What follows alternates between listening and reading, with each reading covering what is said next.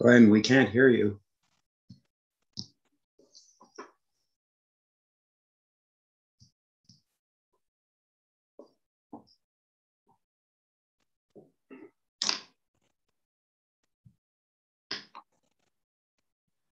Have I been muted the whole time? Yes.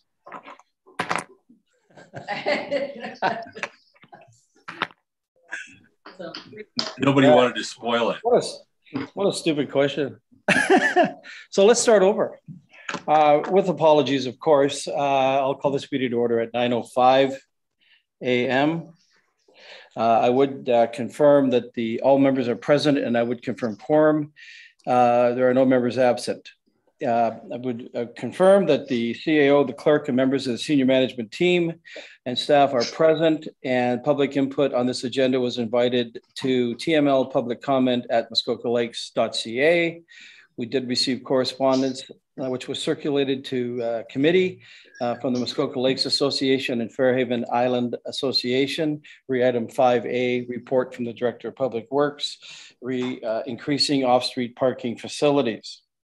Um, today's meeting is being live streamed and recorded on the Township of Muskoka website and YouTube channel. By participating in the open public meeting today, you are consenting to your image, voice, and comments being recorded and posted online.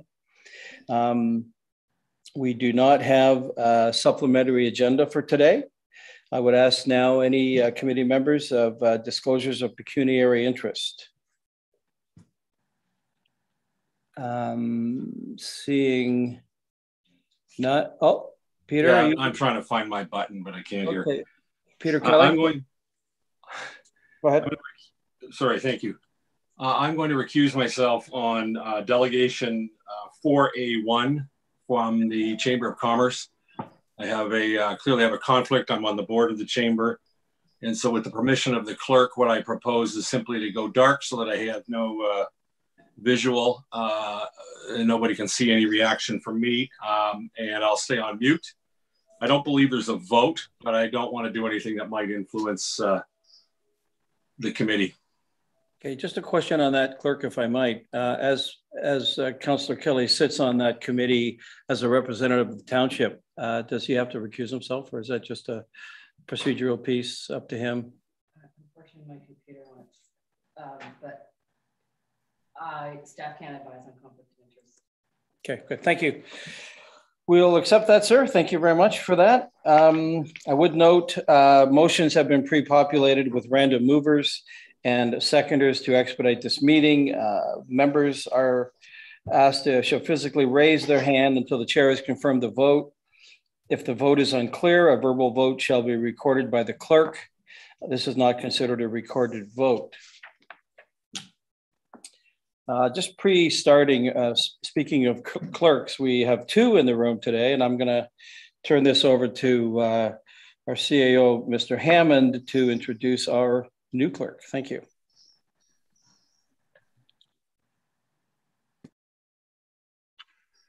Thanks, Mr. Chairman.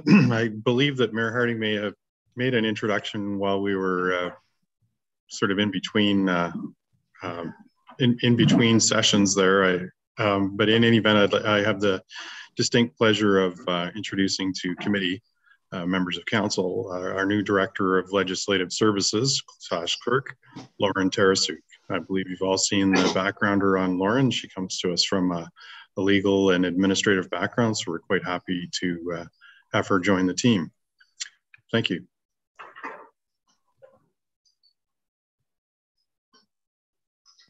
Good, thank you. Welcome. Okay, we're going to start with our first delegations. Uh, item 4A, delegations commencing at 9 a.m. Uh, with respect to 2021 achievements uh, and 2022 budget requests. So with that, I'll call on Spencer Moreland, the president of Muskoka Lakes Chamber of Commerce. Uh, Spencer, sir, welcome. You have the floor.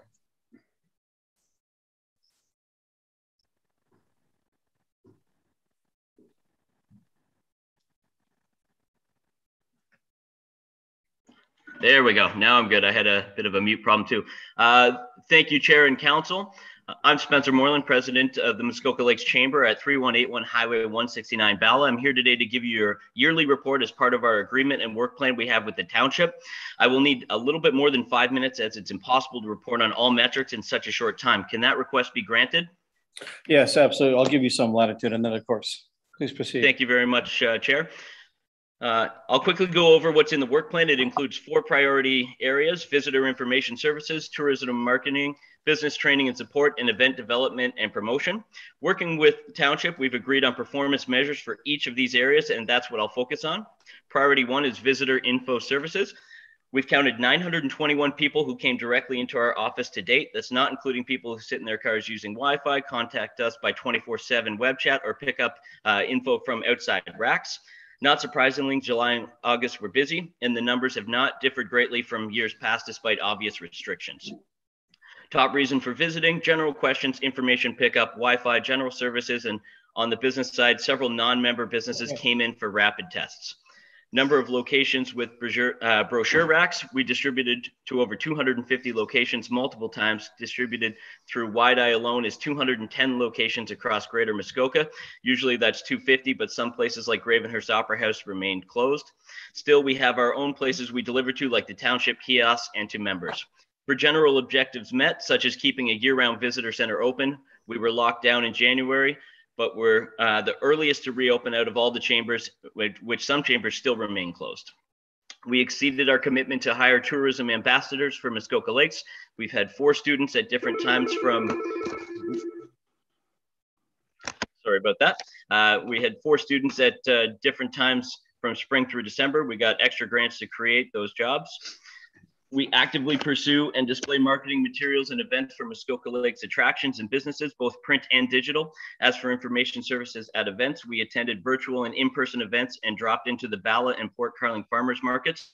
That's one thing we should clarify from last year. We don't have a phys have physical booths at these markets. The chamber started the markets and promote them, but we would only have actual physical presence if uh, we have received the funding for that.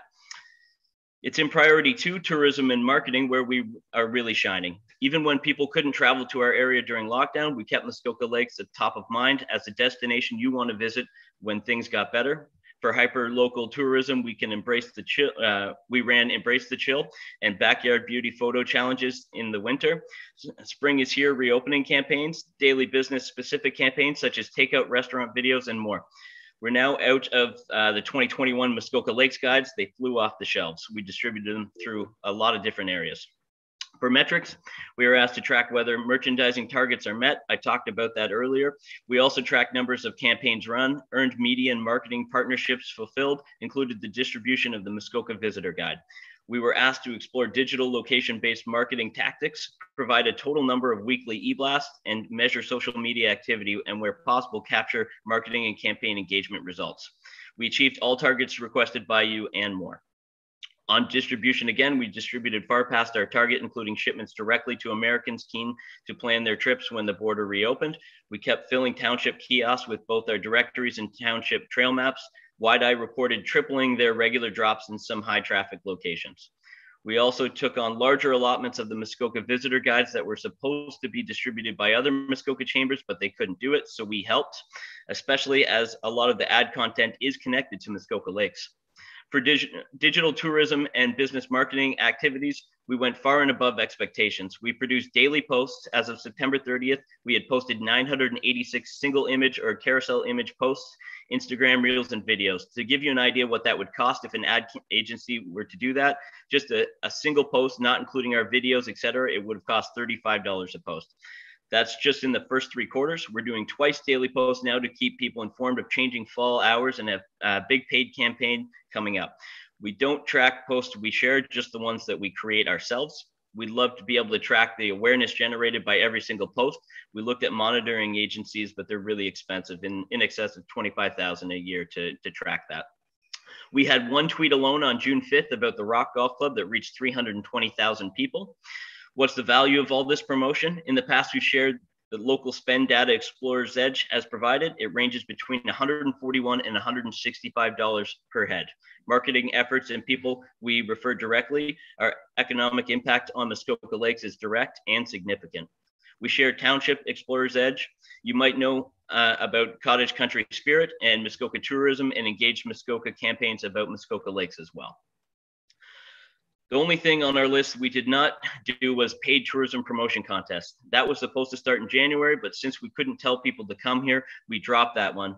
Instead, we ran other campaigns reminding people of how we look forward to seeing them when they could travel here again and urge people to uh, people living here to get outside. Our shop local videos also showed people how and where to uh, order takeout at any time of the year, uh, uh among other services. We're now developing a new Founded in Muskoka campaign to run through December. We're doing the media buy, advertising with every media outlet in South Muskoka, and this will help us far exceed our paid campaign expectations we set for you in 2021. The marketing and uh, production portion of our successful grant application is $80,000. Another metric is to maintain our position as the leading chamber on social media. We have the largest following of Muskoka chambers, and we are nipping at the heels of the big Ontario chambers. We've had hundreds of thousands of social media impressions uh, this, this year alone. And it's not just during high season that we're gaining attention for township. One day in February, we had an unpaid post that reached 7,500 people in one day. One of our Instagram reels takeout uh, day is every day at Bent River Cafe had over 3,700 views when it first went live in May. The number of e-blasts is another work plan measure. As of September 20th, we've sent out 92 e-blasts to keep everyone informed, and that's over a 10-month period. So we're looking at about nine, over nine a month. Also on our work plan, exploring location-based marketing tactics. We had meetings with Driftscape, CrowdRiff, and Meltwater, and now Muskoka Tourism is uh, talking to them more. To help promote Shop Muskoka Lakes, we ran a location-based device ID campaign. An example would be someone who cottaged at Lake Joe in August 2020 would see our ads come up on their cell phones uh, this summer when they visited sites like People Magazine. Again, we exceeded all performance measures, including in-earned media, which is news coverage and generated about Muskoka Lakes and the Chamber that are not paid for. We have Muskoka Lakes in the news more than 30 times to date. Also, under tourism marketing is Shop Muskoka Lakes. As expected, we spent 16 grand of the township operating grant to build and onboard vendors onto the site. We were able to get other partnership funding to put into marketing. You may have seen the magazine and TV ads and our ongoing daily mix of organic and paid social media. Vendors have praised the way we've marketed their products. Priority three is business training and support. That has included things like workforce attraction, business workshops, advocacy with uh, upper tier tourism organizations and helping businesses move to digital and e-commerce solutions. The metrics we were to report on included delivering a minimum of four education workshops in collaboration with Township. We did not reach that target as the workshops we expected to do had would have had to be in person in community centers, which were closed. But we did provide many webinars and especially COVID related virtual training events. We could have offered one, about one a week uh, through Ontario and Canadian chambers, but some didn't seem overly relevant to Muskoka Lakes.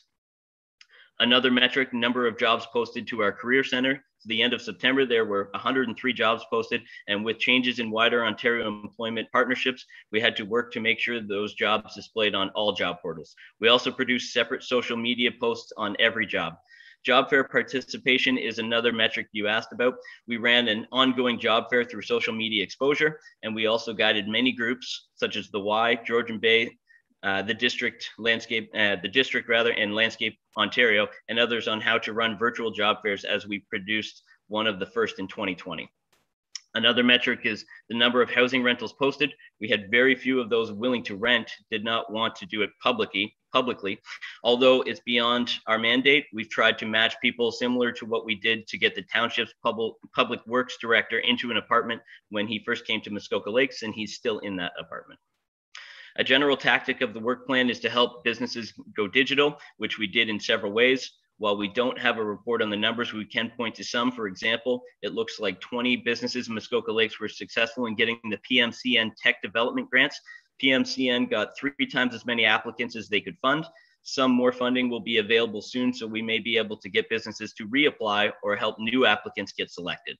Not on our work plan, but good to know for uh, our business support side of things we helped 10 businesses get their support, uh, Ontario support grants filed, reopened after they were first deemed ineligible, and all of those businesses got funding in the end.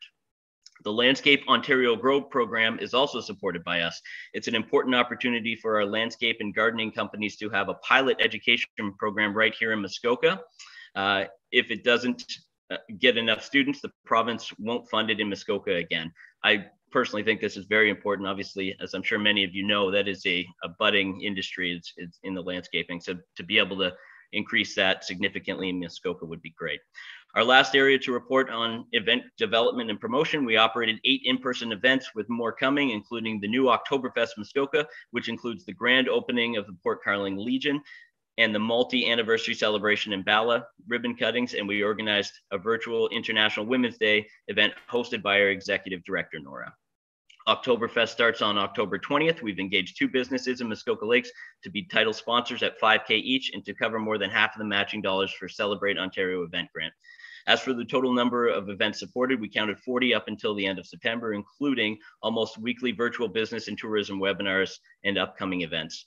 Those include a new virtual story time with Santa, along with a virtual Santa parade and santavisits.ca, which proved very popular last year and paid for by a private donor. And thanks to that private Santa, we're going to feed families in need in Muskoka Lakes through the Feed All Four School Board Fund. Other tasks we were expected to do as per our agreement and we fulfilled was to keep an events calendar. We supported every event we knew about that happened in Muskoka Lakes. We continue to promote the Muskoka Cranberry Route. And of course, we support the Bala Cranberry Festival, which hasn't been easy this year given the obvious restrictions, but we're sharing this information online and answering phones and emails about it uh, constantly.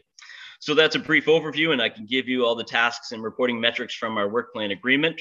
There's so much more to tell you. I want to thank you for your notes of congratulations on the chamber winning a COVID award out of all the Ontario chambers, right alongside the uh, Cambridge Chamber, the second largest in Ontario. We're also proud to tell you that we have given out over 22,000 rapid tests to 102 businesses to keep our community safe. Finally, as uh, you're now in the budget process, the chamber is seeking the amount we asked for last year, $60,000. Our tourism market efforts alone deliver that much value. We also submitted a draft work plan with the budget ask on September 1st. I'm sure you can understand that like you, we're still working on our plans and overall budget for 2022. The chamber would be happy to share with you uh, and answer any questions about next year's plan uh, at your next committee meeting in November. Thank you very much. Spencer, thank you so much, sir. And that answers the question, what have you done for us lately? Uh, well done. Uh, I must I must say, uh, what a wonderful year, given all the uh, trials and tribulations. our thanks to yourself and certainly to Nora Fountain. Please pass those on to her. And um, I know that we will be having many discussions, numerous discussions over the uh, budget period. I see the mayor has a question, which I'll allow, and we'll quickly move on. Go ahead, Mayor Harding. Uh, thank you very much, uh, Chair Zavitz. Uh, Spencer, thank you for um, your work at the Chamber and also uh, to Nora and uh, all the staff at the Chamber. Certainly uh, unprecedented times and continue to find ways to reinvent ourselves. I have two questions. The Shop Muskoka portal that was funded and done, do you have any metrics on how many of those people who signed up for that that were Muskoka Lakes Chamber members and how many were not Muskoka Lakes Chamber members? Uh, or were 100% of them chamber members uh, who participated in that portal? And then the second question I want to talk about is the what we can do to help. Our, our Santa's parade and uh, Christmas parades are virtual this year. I think we need to involve the township a little bit more personally. Uh, when sporting venues like uh, I was going to call it Skydome Rogers Center or whatever it's called these days, my apologies, um, can have full capacity. Um, all of those Scotia Arena can have full capacity, shoulder to shoulder for a two-hour event, and we can't stand in front of our driveways or in front of a store while people pass by. I think is inappropriate. And I think it is an opportunity for us when Cranberry Festival can co- operate in capacity um, I think that the chamber needs to reach out for our council to help and have some greater discussions with our medical officer of health, assuming that it is our medical officer of health, Dr. Gardner, that's causing issues in this particular fashion. So maybe you want to comment on where we're at with that and also the uh, shop local campaign. So for uh, Shop Muskoka Lakes, I don't have the metrics as far as how many were members. For that, I apologize. As it relates to the Santa Claus Parade, I tend to think that that's on a. I, I completely agree with you. Uh, I tend to think that's probably on a on a district level at that stage where we're going to be able to open up the guidelines, uh, op- open up some of the restrictions as far as why we can't do it in person. Um, I'd like to say I'm not really sure what the answer is as far as being able to to assist with that, but certainly um, I, I, know that the digital platforms we did last year were very popular. So although it's you know not the ideal situation, it's certainly uh, certainly something that that worked out quite well. But yeah, I, I can't say I really have a, an answer for you as far as what what you can do. I mean, outside of you know lobbying with district as to when we're going to be able to open things up a little bit more especially to those who have been uh, fully vaccinated but uh, yeah unfortunately I, I don't think i have a great answer for you on that one Okay, thank you. If I may, Chairs, I was then just uh, a note. I'm sure that uh, Nora is watching this as well, and she and I are trying to connect, or have been for the past week or so. But um, uh, you have my full support to help uh, where we can, because uh, if nothing else, it would be nice to get people outdoors uh, and enjoying a parade to wish in the Christmas season. So um, hopefully that can happen, and we don't have to sit looking at Zoom screens anymore. I completely agree. Thank you, Mayor. Thank you. Spencer, with that, we'll uh, thank you for your report and look forward to uh, a further dialogue with the chamber in the in the weeks and months to come, sir. Um, I'm going to um, thank you for that. I'm going to call on uh, Courtney Provan, uh, Director and Curator of the Muskoka Lakes Museum, for that presentation. Courtney? Thank you very much. Thank you. Welcome. You have the floor. There you go. That's how that works. You're gone. There you go. Me see your presentation. You can see my beautiful presentation. We can. Thank you. Thank you. So I'd just like to thank you all for inviting me to speak today um, about the museum's activities. So I'll just start by giving you a little information about your museum on the second page. Um, it was founded fully by volunteers in 1964 with some community support. We are an independent, not for profit community museum and public trust that is also a registered charity. We tell the story of the development of the Muskoka area, um, of all the origins and the history of the settlement of Muskoka Lakes and the whole township, and even beyond that. Um, we maintain a collection of almost 4,000 objects that were fully donated by the community to be held in perpetuity for education, inspiration, and the enjoyment of the public. Our not for profit corporation owns and maintains the 5,300 square foot facility that the museum is housed in. And we attract and inform visitors through our various programs, our personal contacts, uh, special events, social media, as well as marketing. The 2021 was an interesting year for us. We had a 45% reduction in operating hours this year. So we were only able to operate for 60 days in 2021 due to the COVID restrictions. We were able to open in stage three, and that wasn't until July 21st, whereas last year we were able to open on July 1st. Um, Despite the shortened season, we saw an increase of visitors to the museum this year and had uh, nearly a thousand people visit the museum this year. On our last day of operations last Sunday, we had over 50 people come to the museum. We have a membership base of 275 members, and they donate over $20,000 to the operating budget as of September 30th. We have several dedicated senior volunteers that help us transcribe some of the postcards that we had on exhibit this year, um, as well as helping out at the front desk, welcoming visitors and providing tourism information to visitors, as well as passive COVID screening. Um, we have a lot of people that come in and are here coming to see the museum and also asking about where they should go to eat, what they else they should do. So we also see ourselves as kind of a tourism center in Port Carling. For public activities, we held them all outside in the garden this year in order to maintain COVID um, restriction standards. And we had spinning wheel demonstrations in Thursdays in the garden. We had Wednesday night after hours talks with our speakers in the gardens. as well as Scales Nature Park came to visit and brought some turtles and reptiles for the kids to be entertained by, and a few other things. So these programs were provided to the public free of charge. These were not, um, we did not charge admission for these. If people came and just wanted to see them, they could just go and see them in the garden. Um, but we wanted to encourage visitors and reward the people that were able to come out this year.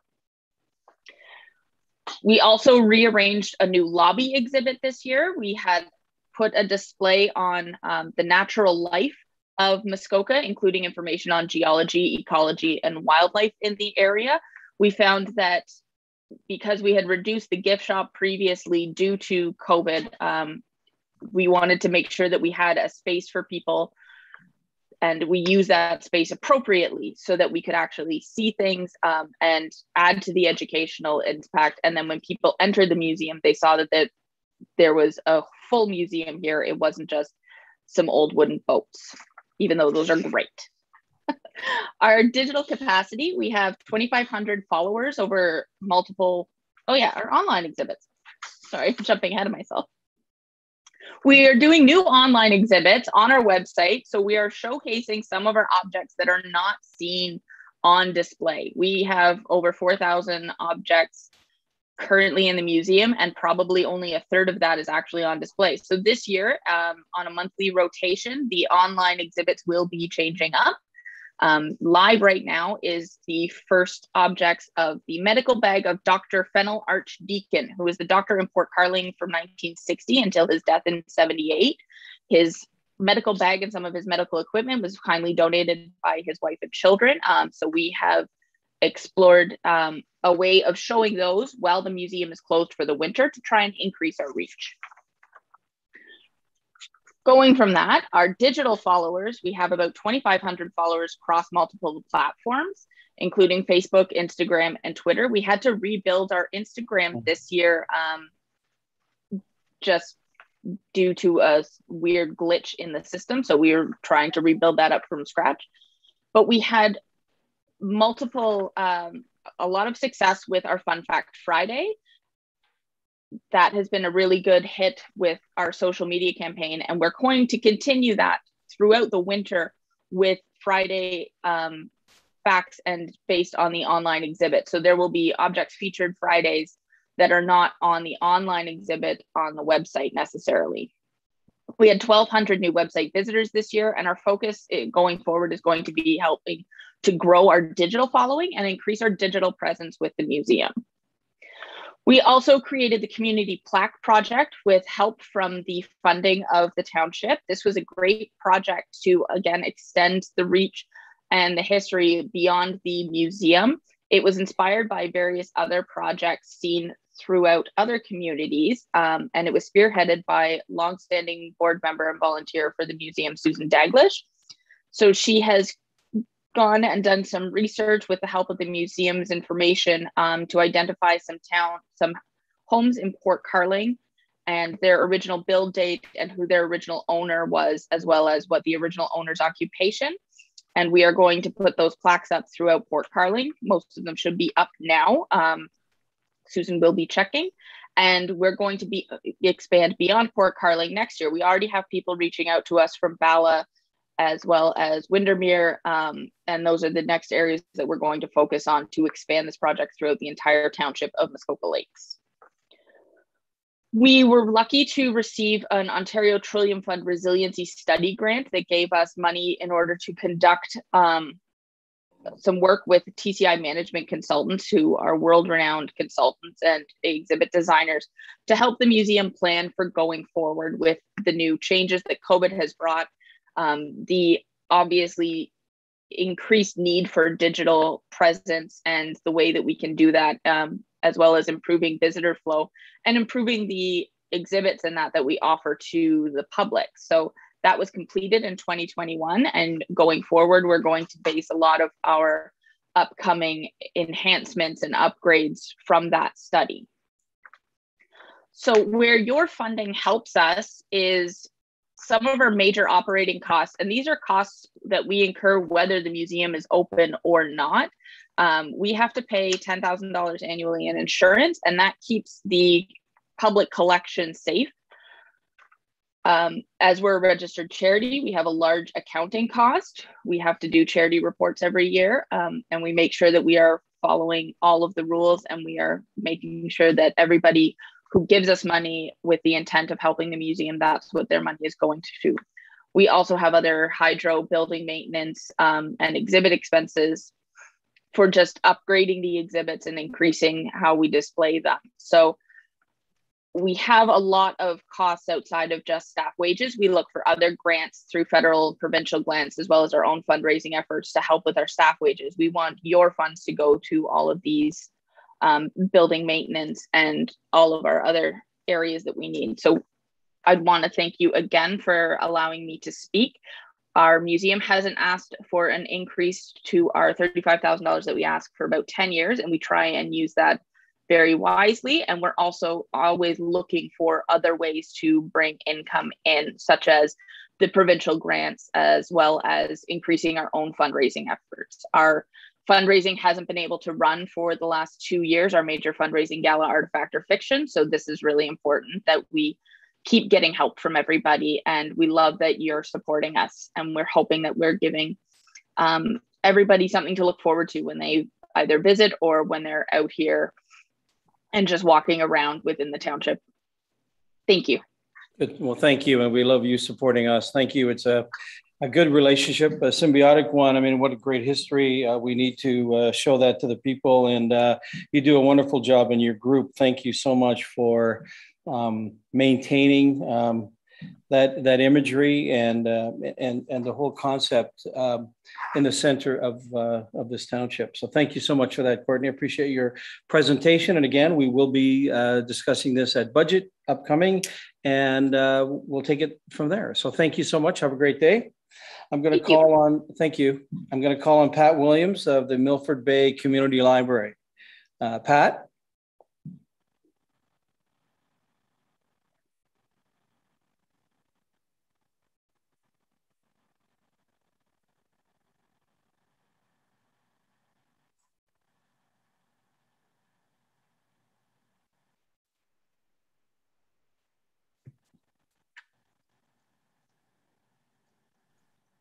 Chair, I. Oh. She's in Yeah, she, she logged in twice, so I yeah. She just unmuted herself. Well, I asked her to. Okay. You there, Pat?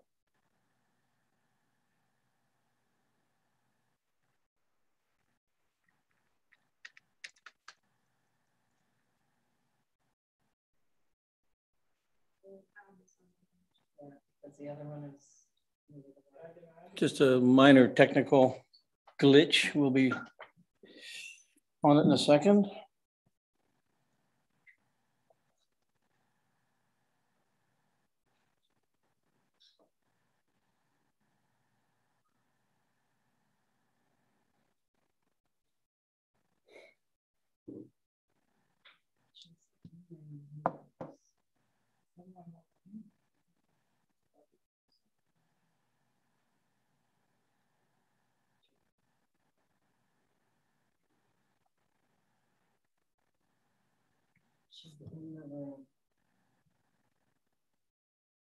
Pat, can you?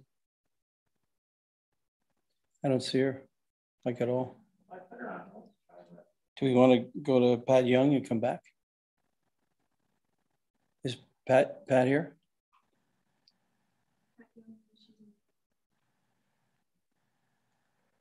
Do we want to do that?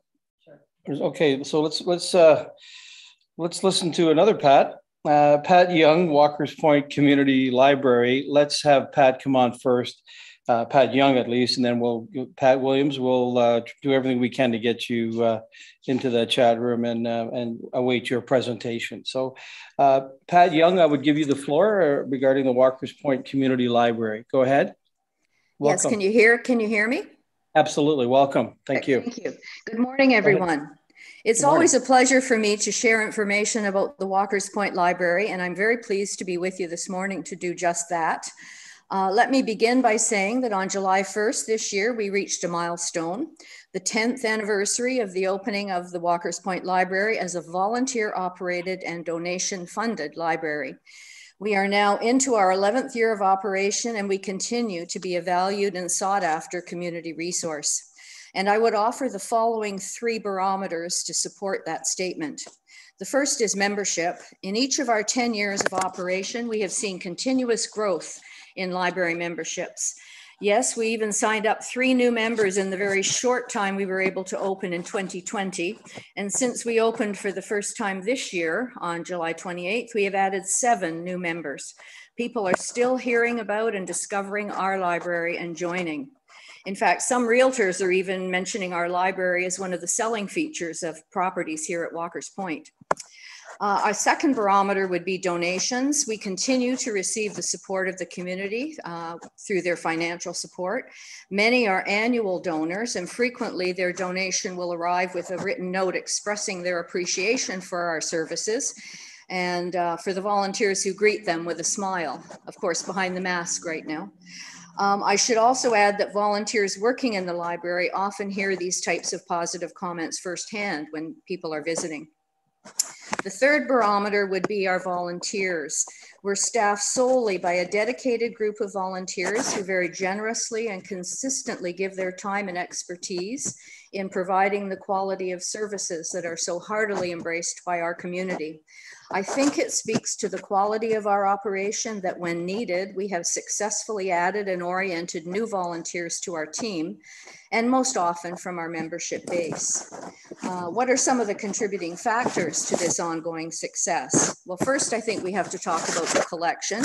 We maintain an up-to-date selection of over 3,500 books, about 300 DVDs, as well as other resource materials. You can even take out a butterfly kit if you like. Maybe not right now, but members frequently compliment us on the quality of our collection, and we also encourage them to give us feedback on what they would like to see in a particular book or author.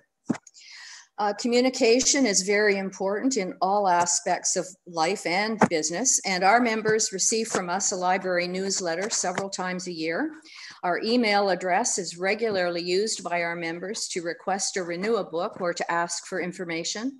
And our website includes up-to-date library information, new programs and initiatives, upcoming events, new books that we've added to our collection, and a link to our search catalog for a particular, and they can look for an, an author or a, a title.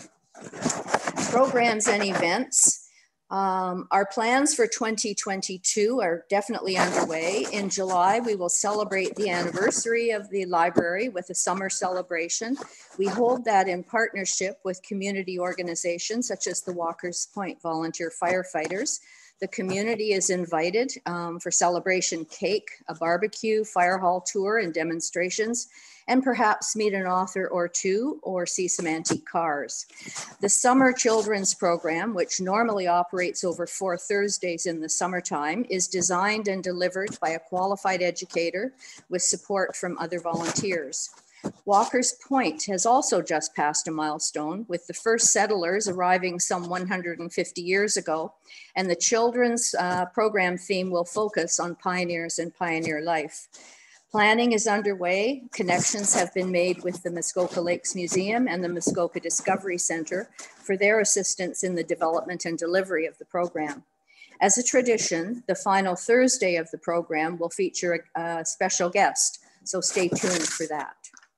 In December, at the annual Walker's Point Kids Christmas Potluck Supper, the library will continue its tradition of inviting all children in attendance into the library uh, between dinner and the arrival of Santa, where they sit down to hear a Christmas story. The hall board has gifts for all children in attendance up to age 10, and the library purchases gift cards for youth in attendance ages 11 through 16. Our winter work plan is underway. It comes as no surprise that our busiest time of the year occurs primarily between June and Thanksgiving, after which many of our seasonal members head home or south of the border until next year. The subsequent slower months traditionally provide us the opportunity to implement our annual winter work plan. Typically, this includes culling, reorganizing shelves, updating databases, and so on. This year's plan also includes a reorganization of our children and youth section to better reflect the access needs of our uh, shorter members. We also take this time to review our volunteer handbook and procedures, library forms, etc., and implement any required changes. Our newest library service is, uh, well, since September 22nd, people must be double vaccinated to enter the building for any reason. That means children up to age 12 are not allowed in and they're not able to choose from our great selection of books and DVDs. In an effort to work around this, our librarians will put together book or DVD bags, either their pick or ours, um, for the two week rotation. And we can arrange for pickup at the library, or in some cases, we can make delivery right to the home. In closing, the support of the township through its commitment to match fundraised dollars has been integral uh, to the success story of our library. And for that, we are most thankful. It is very important to our donors to see their donation go twice as far in their support of the library. We're hopeful that the township will continue to see that they are getting great value for this investment. Thank you.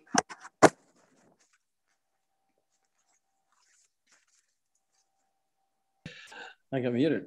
Uh, thank you very much for your presentation and certainly appreciate all of your hard work and your, your group uh, over at Walker's Point. Thank you so much. And we'll take that under advisement, of course, for our budget deliberations upcoming. So thank you very much for that. Have a great day.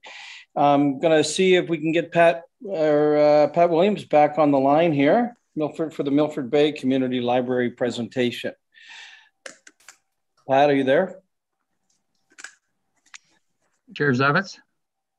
Oh, Pat, go, yes, go ahead. Yes, Councilor Roberts. Um, I've been in conversation with Pat. She's having technical difficulties. I phoned the, the office. They're trying to get her a phone number that she can call in on. So if we could just delay her presentation until they uh, solve the technical issues. I see Pat's trying again there. Um, she's just trying to get in, but I, I think it may be best if she just phone I phone in by telephone. Hmm? Yeah, the, the link that she would be using, of course, to uh, seek access would also have the phone number that she could use. Um, I don't have it at my uh, at my hand here, readily to hand. Do I have it? No.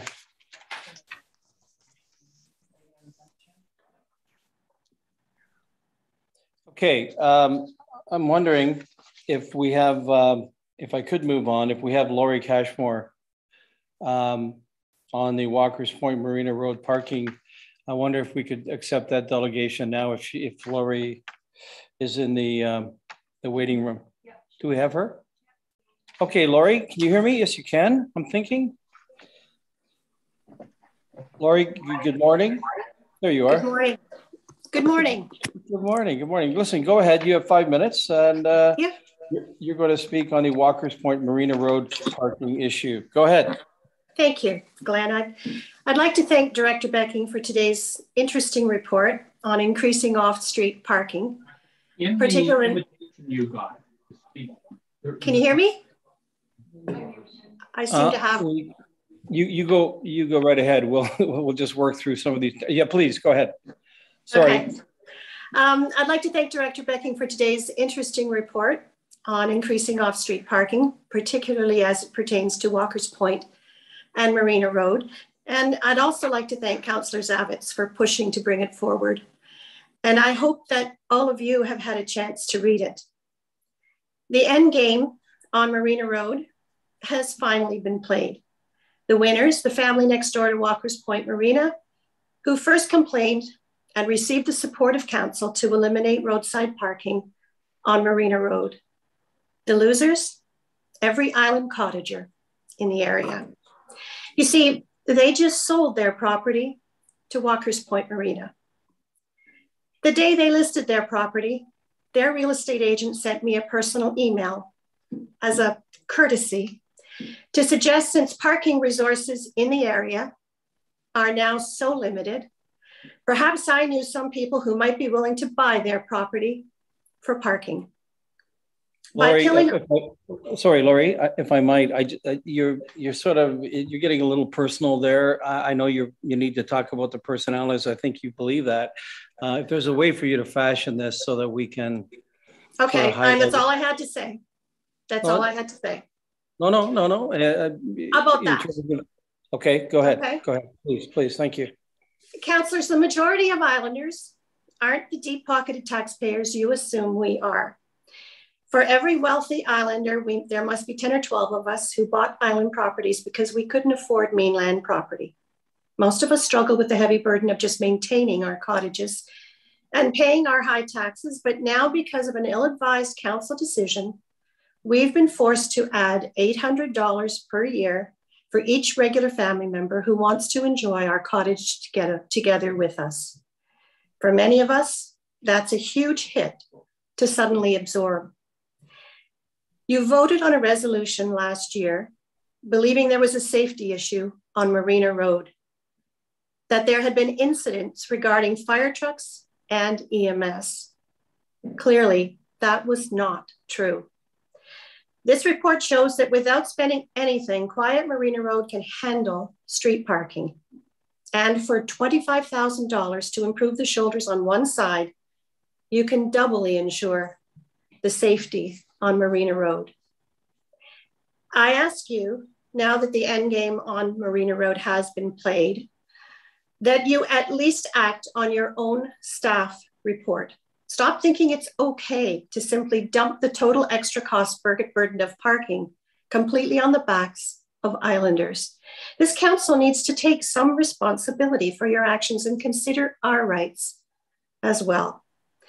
You made a decision that severely impacted our cottage lives this year without staff or stakeholder input, believing that there had been specific safety issues. You didn't care about then about waiting for the transportation master plan or about every other parking problem you need to fix in this township when you singly attacked Walker's Point Islanders. We were targeted individually, not like every other parking area that you have to deal with, for what now appears to be no good, compelling reason other than to pad the pocket of one local resident. The transportation master plan wasn't in your minds then, and it's still a long way down the road. You now have a fair and equitable response to a specific problem that you created. The report called Increasing Off Street Parking also makes it clear you own no land in the Walker's Point area to do so. Please, for once, do the right thing and help us. Give us back some of the rights that you so abruptly took away for no good reason last year. Accept the interim staff alternative that will now safely allow us to park on one side of Marina Road. Thank you. Lori, thank you very much. Uh, just given the uh, our agenda today, I, I would ask you to, I, I suppose, hang around and listen in. Um, I will not go right now to our, our Public Works Director for his report. We need to get through a few more delegates before we do that.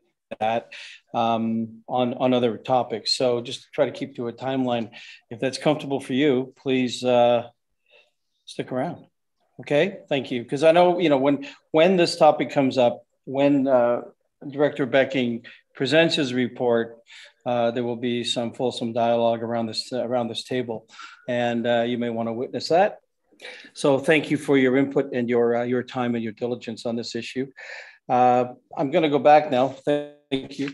I'm going to go back to uh, to see if Pat Williams can we have we got Pat Williams available? Is is are we going to be successful here? She doesn't have a microphone? Okay, Councilor Roberts has his hand up. I'm wondering, Gord, if there's any way that you could, well, help. Sorry, uh, sorry, sorry. Uh, yes, I'm trying to help. Um, she's um, not tech technically savvy on all the operations of the computer, and we're trying to get her to call in. So if, just with if the council, if, if committee would just bear for a while in the background, we'll try to get her hooked in. All right, if that's okay with her. Okay, okay. So we'll try to have a little bit of flexibility here with that. Um, I will move on. Um, hmm. So what, what I think we should do, uh, do we have Nicole White? So we have Nicole. So she, the, the auditor, BDO, to attend at 9:45 regarding our 2020 audited financial statement, item 6A report. Who wouldn't want to hear that today? So there you go. Let. Yeah. So Mark, I'm going to ask our uh, director of finance, uh, Mark Donaldson. Mark, would you like to introduce Nicole and um, perhaps a preamble on on this? This is live, live TV. go, go ahead. Great. Thanks, Mark. Thank, thank you, Chair Zavitz, and good morning, committee. So uh, as reported in item 6A of the agenda, so we are presenting the draft audited financial statements for the fiscal year ended December 31st, 2020. And uh, with us today is Nicole White. She's the partner at BDO who uh, conducted our audit and, uh, and is happy to report on uh, the results of the 2020 year in addition to what's been provided in the report. So I will pass it over to Nicole and um, share the share the, uh, appendix two from the um, from the agenda. Okay. Good morning, everyone. Um, is appendix two the actual ooh, financial statement, or it's the other report? It's your report. Okay. So let me just switch here.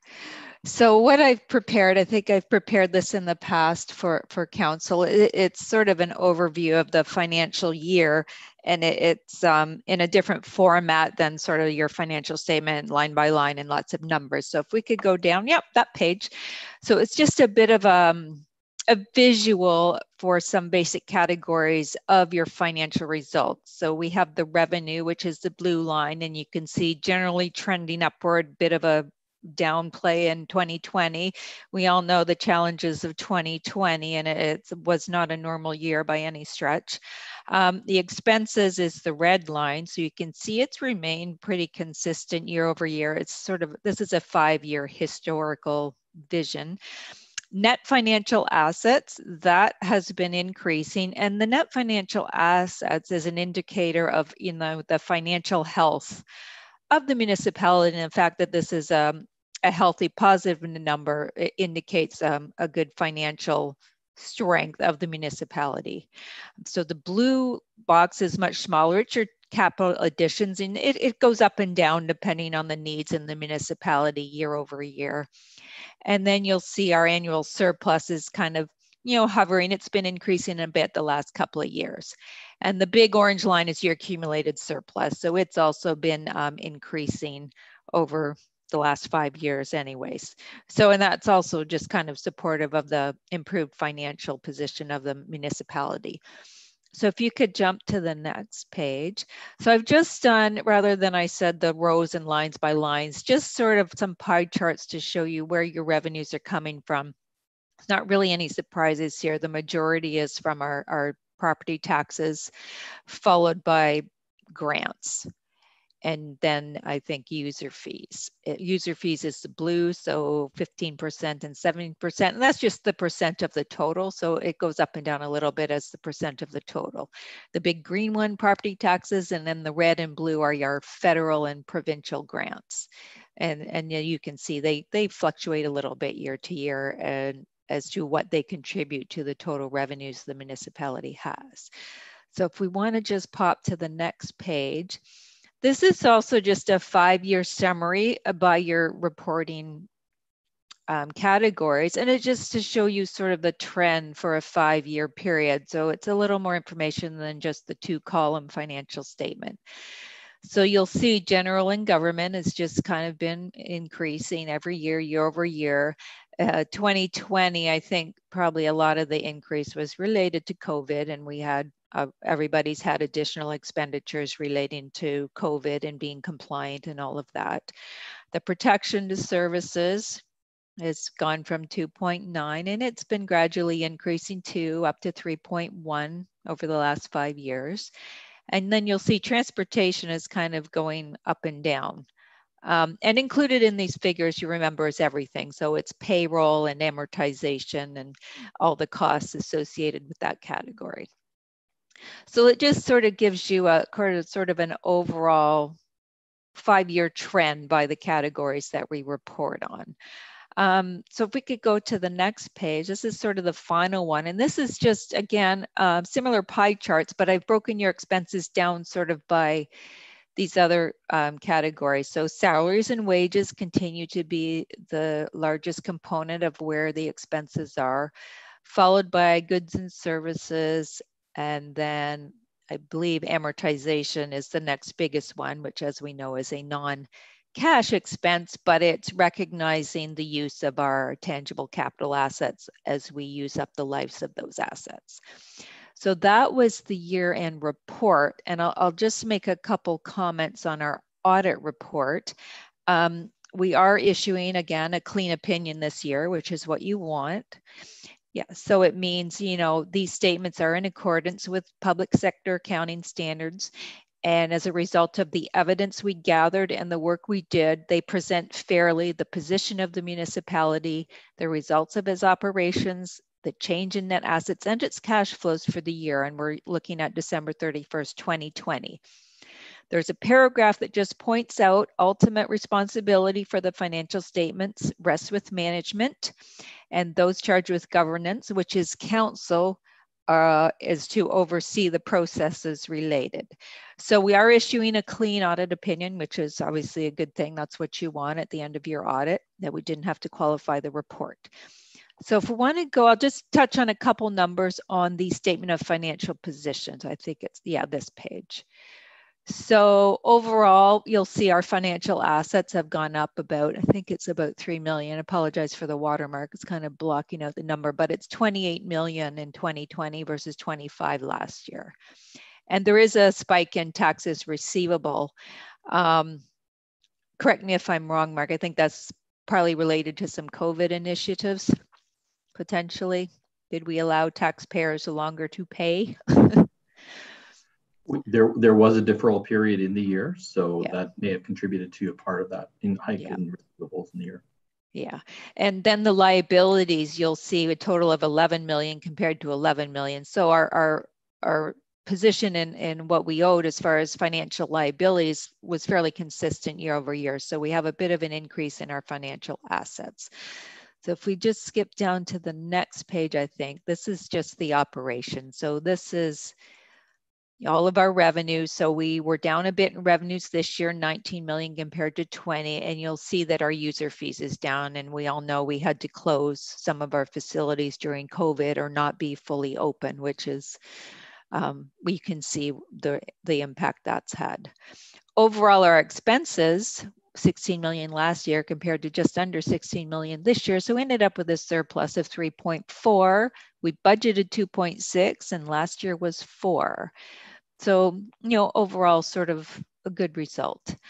Um, I'm not sure if everyone has had a chance to uh, drill through the whole financial statements, but that is sort of the high level summary of the financial results. So if anyone has any questions, audit or otherwise, I can address those now. Okay, committee, I see uh, Councillor Jaglowitz has a question. You go right ahead. Uh, thank you, Chair. Through you uh, to the auditor. I wonder if you could just uh, refer you to page 16 of the uh, the draft financial statements. Yep. And and that's that's dealing with the reserve funds. And you've you've categorized uh, the reserves into two areas, and, but they both have the same heading: reserves set aside for specific purposes by council, and then the same uh, down below. And what I'm referring to in particular is that one up above, which is called capital. Um, and you'll notice that's increasing. When you go down, uh, uh, roads are is decreasing. Just I wonder, could you just explain what why the distinction? Um, these are your categories, and the reserves between reserve funds and just reserves. Um, we've always had the two sort of reserves, which is working funds and capital, and the others are just a, a, a number of specific purposes council has set up.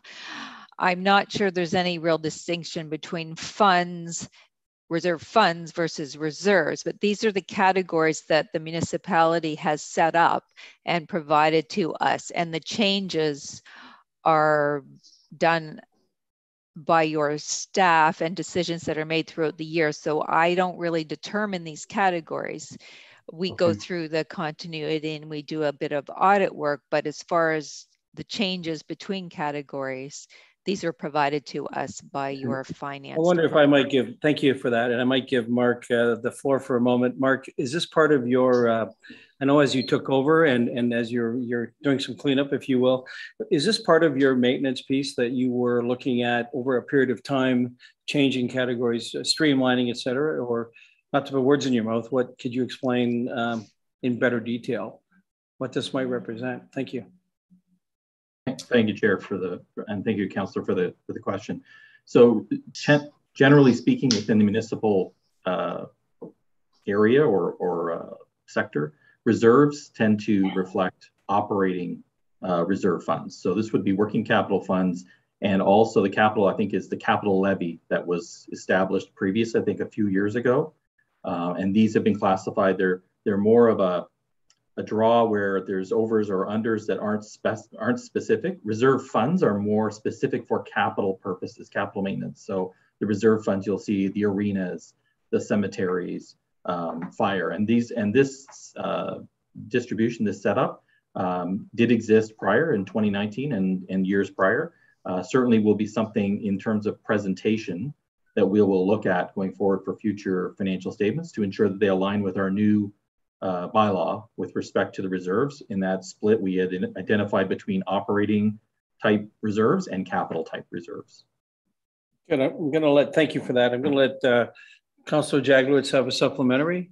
Frank, go ahead. Yes, I don't want to belabor it, but I, I now understand that the capital is something that hasn't been allocated to the individual funds, which I believe we had a commitment to do so uh, over a period of time. So I, I gather you're going to be working on that. Is that uh, because you can see the what concerned me was that the roads reserve fund uh, was d- dramatically d- dropped, and um, uh, we don't get uh, reporting isn't that great on what happens in the reserve funds. You see, all we're seeing here is it started at two million and it's now at 1.1. So, so we can deal with this later. But I just wanted uh, the auditor to, I because this isn't, I don't think, the way you've presented them. But uh, uh one last question, and maybe either of you could answer. Uh, Yonder, you did indicate reserves and reserve funds. So are all these monies set aside in separate bank accounts, or just the ones that are called reserve funds are in separate bank accounts, and the two at the top are just muddled in our uh, a general account? Is that correct? So thank so chair, I can I think I'll take this one. So I can tell you that they are not in separate bank accounts. We have one bank account for the township. Um, when we did the the new bylaw for the reserve and the new policy for the reserve, that did provide authority for staff to create a separate bank account in an effort to try to optimize returns on these funds. That has not yet taken place, but uh, for 2020, all of our cash resides in our operating bank account and is kept separate only on our uh, financial statements. So then possibly the use of the term reserve funds is, is maybe not, not appropriate. Thank you. Thank, thank you. Uh, Mayor Harding, and then we'll move on. Thank you. Uh, thank you. Just a, a, point of clarification or question, I think, uh, to Director Donaldson on the roads budget.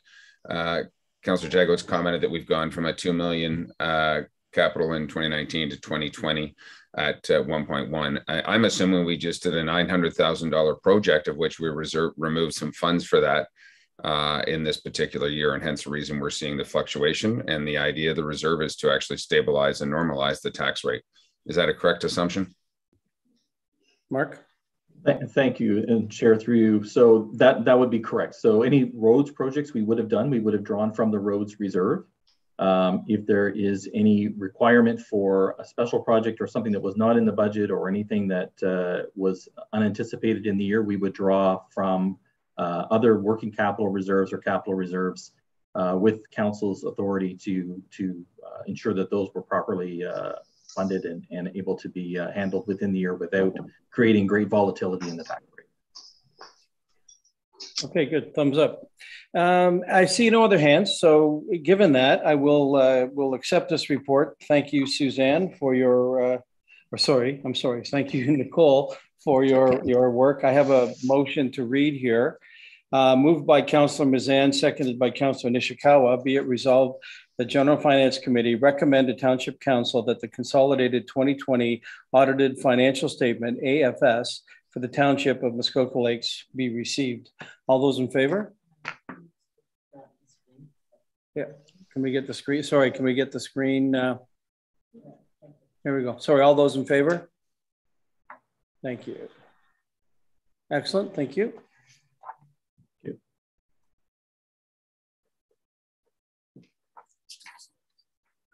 Okay, good. Thank you very much. Okay, so now that we've, uh, I, I don't suppose we have um, uh, Pat Williams. Are we going to? She's gone. Okay, so we'll just uh, we'll just have to see if we can come back to that at some point in time. So I'm wondering, because um, I would suspect that with Suzanne uh, Craig, our integrity commissioner, at she's to be here at 10, that uh, that would take a that should take us a little bit of time. I'm wondering if we could uh, call on Mr. Ackerman if he's here to to um, um, to hear uh, Mr. Ackerman, and then we can uh, look at the uh, the uh, the report from Chriselle as we move through, just so we don't keep don't so we don't hold people up. Is he there? They're both there. They're both there. Okay, so being unsure what to do, uh, I think we'll call on um, Mr. Ackerman if I could. I think I'll call on Mr. Ackerman, uh, welcome you into uh, the meeting, sir. And, um, and then as we work through the agenda, when we get to item 6D, um, Chriselle will talk to us in terms of that staff report. So with that, I'd like to hear your delegation, sir. Um, you have the floor. There you are. Welcome. Thank you kindly. Um, this is to the General and Finance Committee, uh, matters of consideration. Um, I wish to express my gratitude to the members of the General and Finance Committee for their patience in this matter that we've, uh, in my opinion, now all resolved and remedied. Initially, I thought that this was a matter truly of a minor nature to be dealt with in a kindly, neighborly way. With time, I have realized that human nature has had a significant impact on the process. At every turn, human nature has affected my path to reconciliation and caused me unnecessary obstacles to success in the process. I have renewed respect for those who serve the public and offer my congratulations to those who wish to do good. I have realized that serving the public is difficult and taxing in so many ways. I've come to realize that navigating safe passage is most challenging when people have their own agendas without considering community. Respectfully, Hi Ackerman. Uh, I have remedied uh, the course uh, of the minor variances, and I'll be circulating uh, pictures of that uh, right after my presentation in this regard. I also offer a commentary that, given my experience that I've experienced, it appears to me that council would be well served to somehow insulate all these, um, how should we say, complaints and, and, and uh, commentaries that come from uh, neighbors against other neighbors, perhaps through a quasi ombudsman service to protect and work with uh, the various departments in the township, township of Muskoka Lakes, i.e., uh, shielding Department of Works, Department of, um, of uh, Building, and, and various building inspectors. And I, for one, would volunteer to uh, go on to such a committee where by neighbor, for neighbor, in community can occur where reasonable minds and reasonable outcomes can be uh, negotiated and worked on. Thank you very kindly for listening and your patience in this regard. Well, thank you, sir, and uh, appreciate your words. Um, we've got to know you over these these uh, these months, and I know on our site visit uh, Councillor Kelly and myself uh, certainly was an eye opener, and it, it did provide uh, a lot of additional insight. And um, you know, good for you, sir. Nice to know you. We will uh, review your file, uh, item 6D, um, in due course today. Thank you, sir. If you want to stick on YouTube and you can witness that. Thank you again for your time, and I appreciate uh, you coming forward. Thank you, sir. Cheers. Okay, so uh, we're on item 4D of Suzanne Craig. The, uh, okay, listen, um, hmm. if she's here, if we could get uh, Suzanne Craig just to hold for a moment, if that would be, if she would be so kind. Um, and we could get deal with that uh, earlier matter of um, the Milford Bay Community Library, Pat Williams. Apparently, Pat is here. She's on the phone. Pat, welcome. Hello? Are you muted, Pat? How can she be muted? She's on the phone.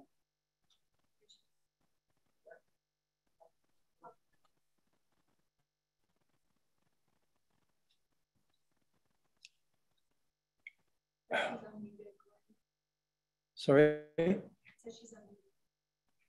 Uh, so Pat, uh, Pat, are you muted? Are you, we can't hear you. Can you hear us? I can't say, can you hear me now one more time in my life? Or that'll be it. I'll turn into a Habs fan if I say that one more time. Okay, listen, I'm sorry, Pat. We just uh, we do have to move on. I'm I'm so apologetic to uh, you for not being able to communicate with you today. So um, I guess we'll give that the old college try, and um, ask that somehow we could get your report and on, in due course, and we would certainly review uh, as uh, as we would. And of course, at budget time, yes, if you could, I'm presuming you have it in writing, and you could uh, send that to uh, to the clerk, and uh, we'll uh, deal with it there. So thank you for all that effort. Um, I, am going to now. I'm going to now call on and invite onto the uh, into our meeting Suzanne Craig, our Integrity Commissioner. Uh, she's going to present our annual um, Integrity Commissioner Report, item 6C. And I would welcome you. You're becoming an old friend, Suzanne. This is twice in two weeks. Welcome. Good morning, uh, Mr. Chair and members of council. I was, uh, my Zoom was joining, so do I start now or are you introducing? You go right ahead. All right. Uh, so I, uh, I say again, good morning to, uh, to the chair, mayor, members of council, those on the line. Uh, it's my pleasure to uh, submit my annual report to the township, which sets out the activities of this uh, reporting year. you have a report before you that I request that you receive and adopt for information. Uh, I present this report in my uh, fulfillment of the role of Integrity Commissioner under Part uh, 5.1 of the Municipal Act. Uh, in that uh, section of the Municipal Act, uh, the Integrity Commissioner appointed by the township is required to submit a periodic report for transparency reasons. So individuals uh, who are members of council, staff, and the public may understand uh, the activities of my office. As you can see from the report, there hasn't been too much of a change from the previous year. I did receive two formal complaints. I did not bring any complaints to council because they were resolved.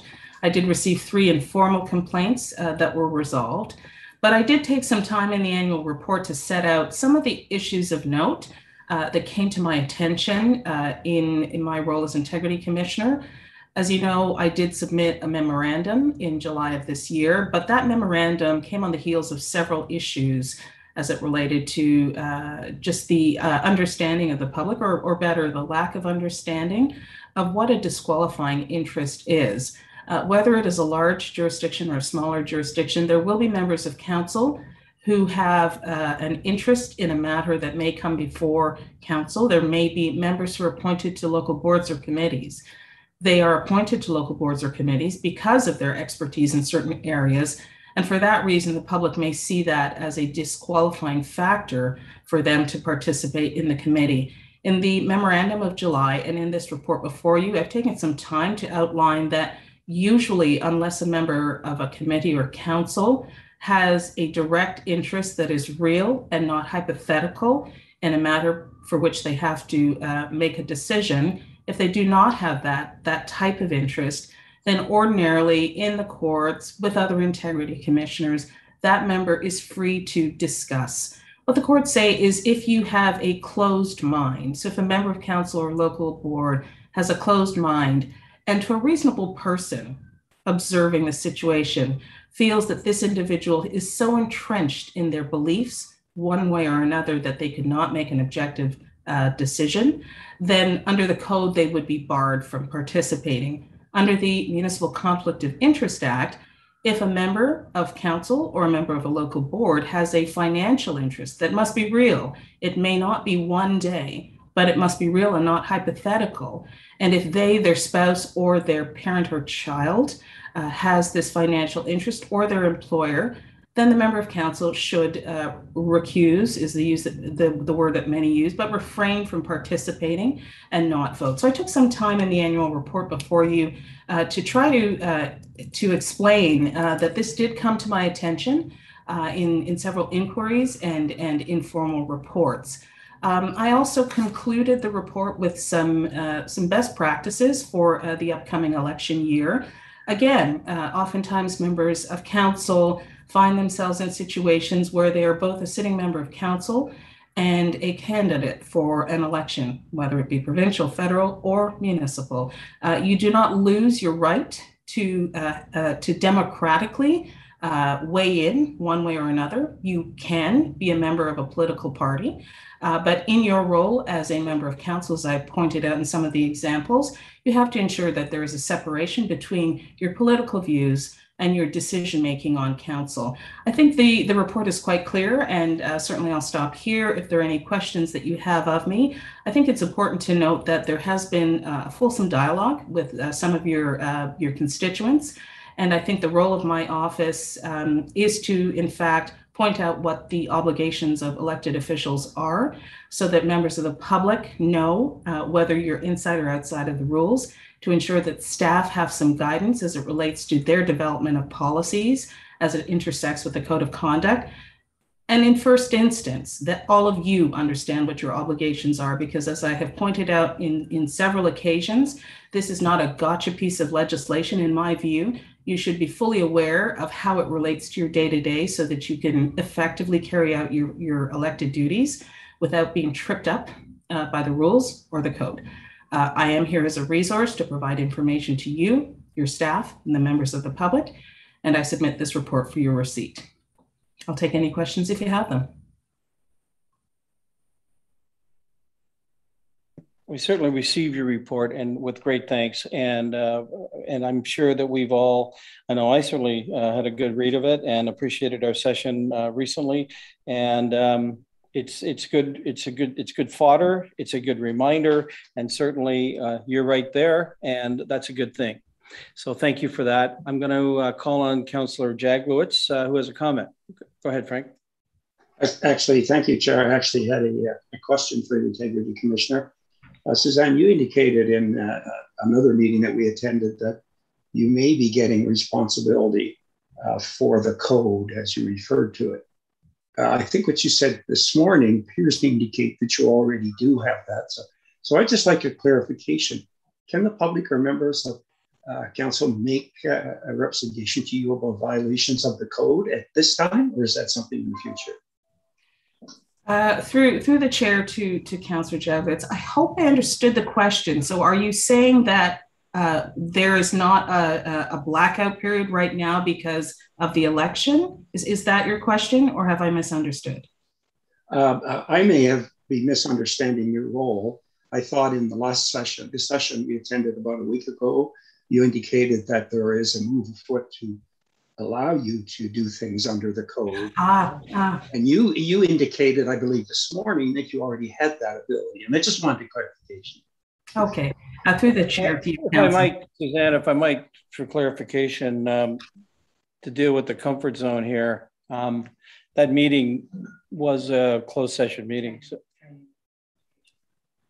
so, so you know, to your comfort zone, go ahead. Thank you. Through the chair to, to the councillor. Uh, with reference to my role, I am your appointed integrity commissioner, and currently uh, the rules in force under the Municipal Act give me duties that range from advice to members of council and local boards, receipt of code complaints from members of council, staff, and members of the public, uh, intersection of the code rules with policies, and therefore working with staff, providing education sessions to uh, staff, members of council, and the public. So, as your appointed integrity commissioner, I have those duties. The province of Ontario recently, well, not so recently, but they are currently working on um, potential amendments to the Municipal Act where there may be changes to the duties and the powers of integrity commissioners.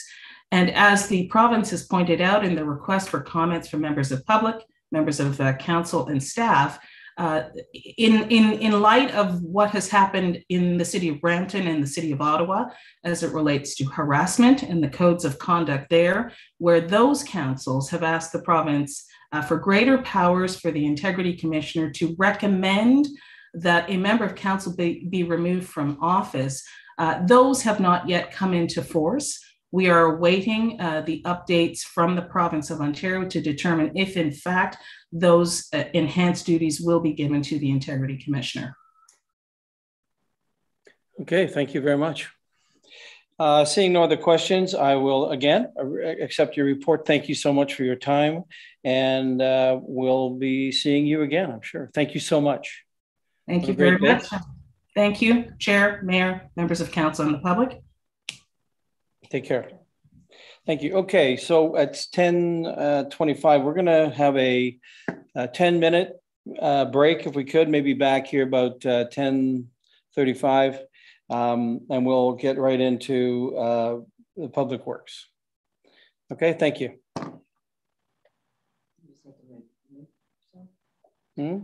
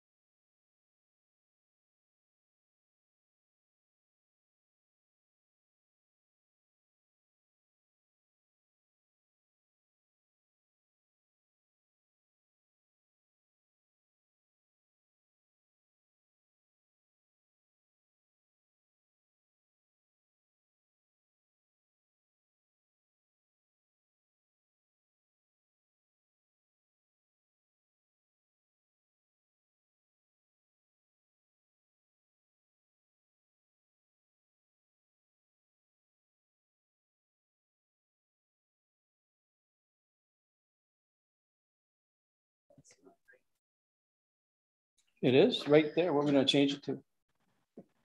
Yeah. Any, anyone? Sure. Go ahead.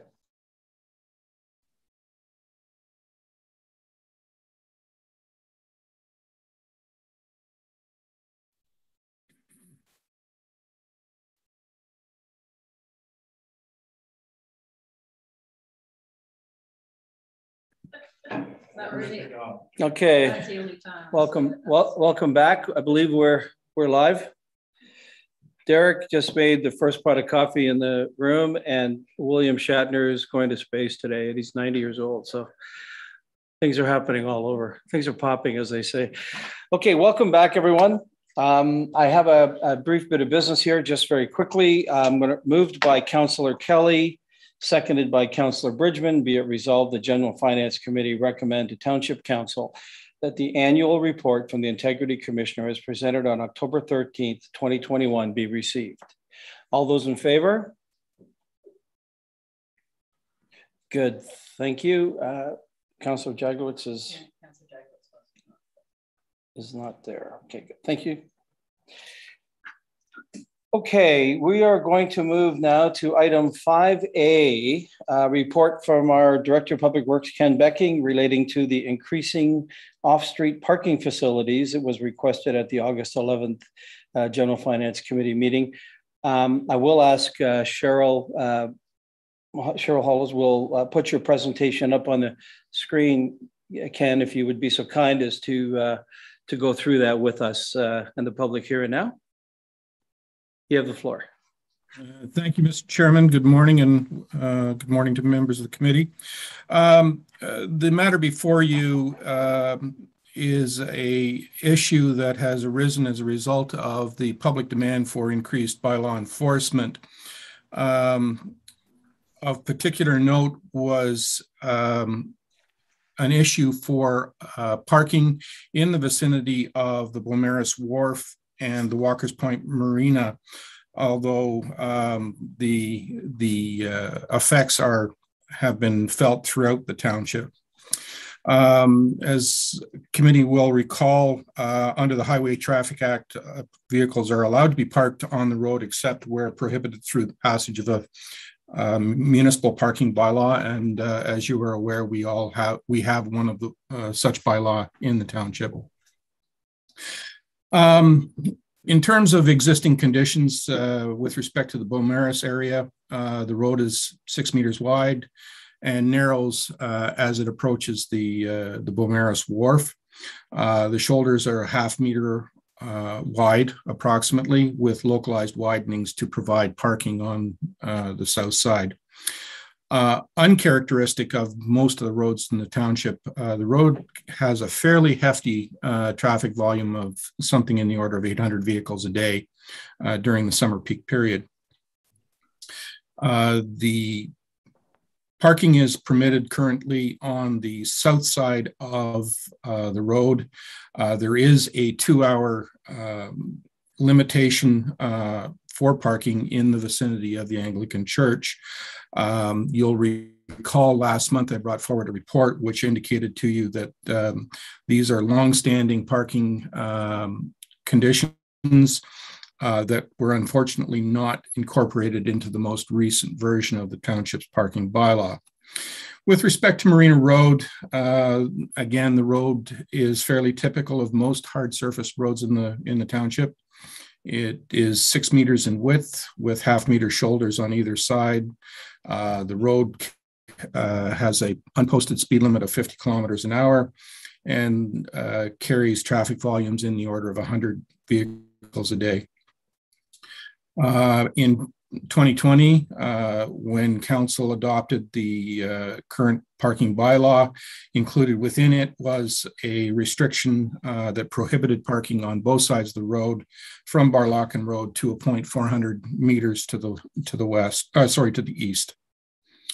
Um, in terms of long-term solutions, um, issues such as this are typically uh, addressed through policy documents and policy requirements that are included typically within your uh, official plan. and in a transportation master plan.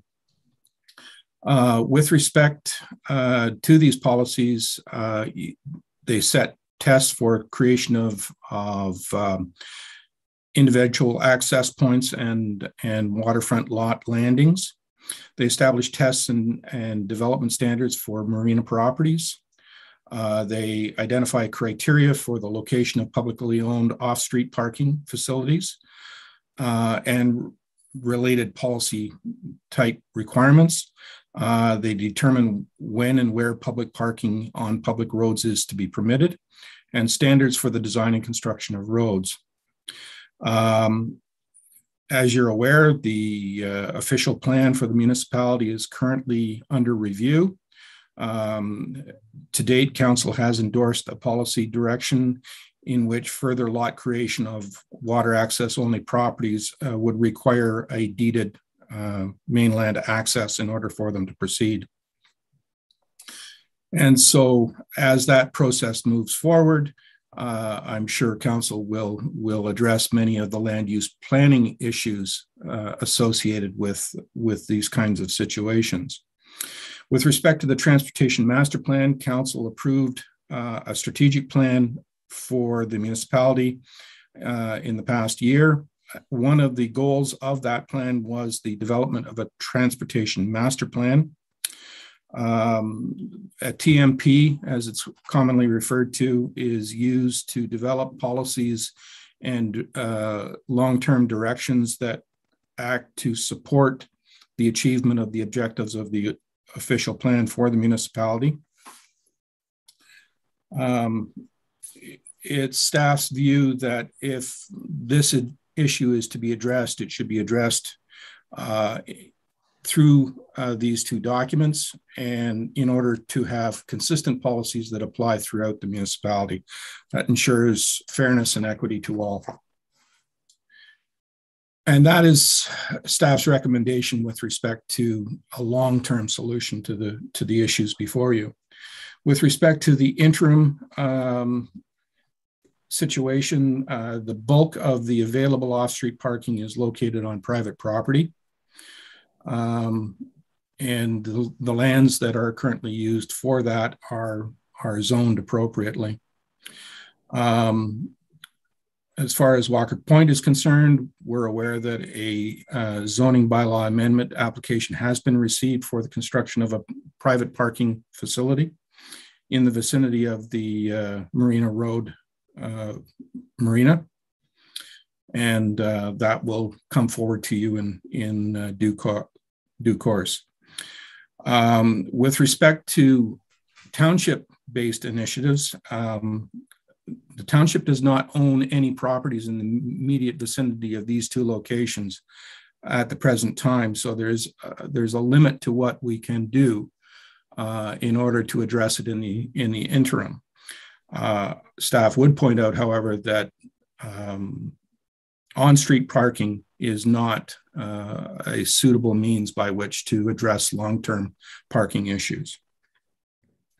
In terms of alternatives, uh, with respect to the Beaumaris area, um, the uh, Milford Bay Community Center is located approximately 1.8 kilometers away from the Beaumaris Wharf. Uh, under the current um, regulation, uh, parking is allowed up to 72 hours at that location and it is available to be used. Council could choose to amend the, the parking bylaw to extend that period of time for a select number of parking uh, locations if you choose to do so. Uh, as it relates to uh, Marina Road, um, council could amend the parking bylaw to uh, allow for parking on one side of the road.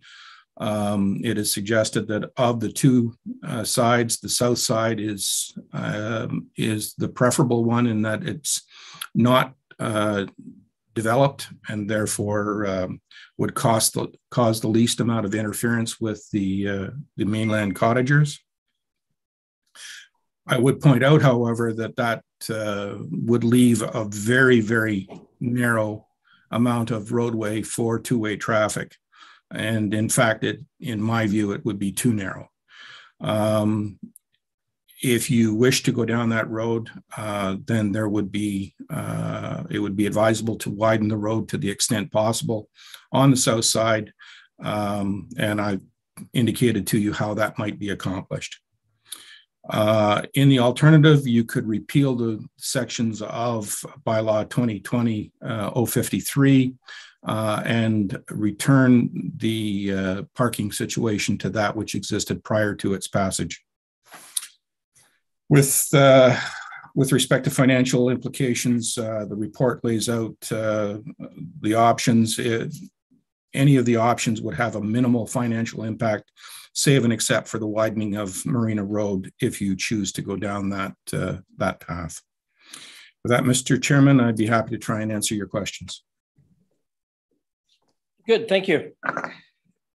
Uh, if we could get the full screen again, that'd be great. Um, so, uh, committee, I guess I need to look at you all. Here we are on the screen. So, um, okay, before I, I call on uh, Councillor Councillor Hayes, I want to say, as as chair, that you know I I want to know if this committee has any real appetite to to look at this. I mean, I don't want to spend 45 minutes of our time today on a valuable schedule and uh, at the end of the day have it an 8-2 vote. So we're not even voting actually. So to, to my point is, is that we would, you know, in some sort of fulsome manner embrace this report and uh, and go further with with this. So I, I, just as a preface to that, I will call on uh, Councillor Hayes, and I'd like to uh, make a statement. Thank you.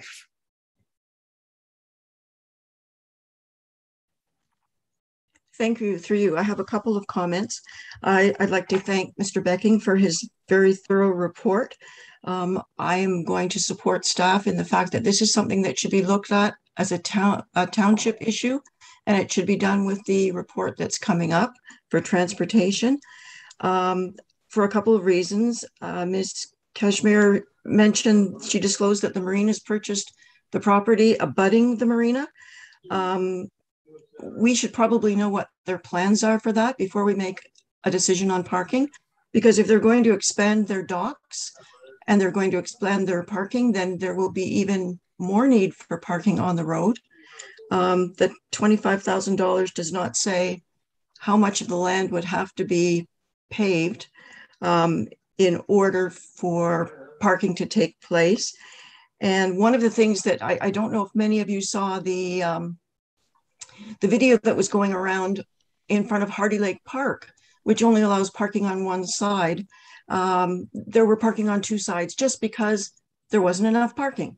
Uh, so that's what happens, and it becomes a matter of enforcement.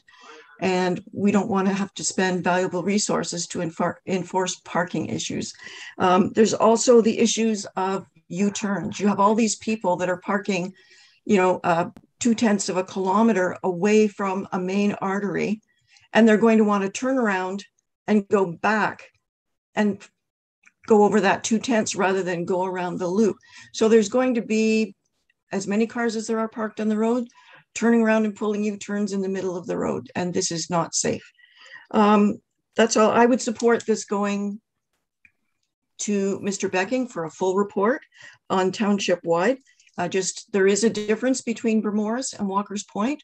Beaumaris is a public landing. Walker's Point Marina is a business. So that would be what I would say for today. Thank you. Councilor Nishikawa. Thank you. Um, I, I, what I, I wanted to just talk about Walker's Point a little bit more. Well, it, it would apply to both. I don't understand. Um, I don't understand the number of parking um, unit units that we would be trying to create on Marina Road. Um, so my concern is, and I, I'll just use um, the Torrance, uh, Whiting's Beach, as an example, I have been there when there's been 11 vehicles from one cottage. So one business taking up 11 parking stalls. Um, do we what do we do when all those parking facility units are taken up by a couple of cottagers and the, the other islanders are not able to access those parking units. I, I, I is a township actually looking at um, somehow getting a, a permit?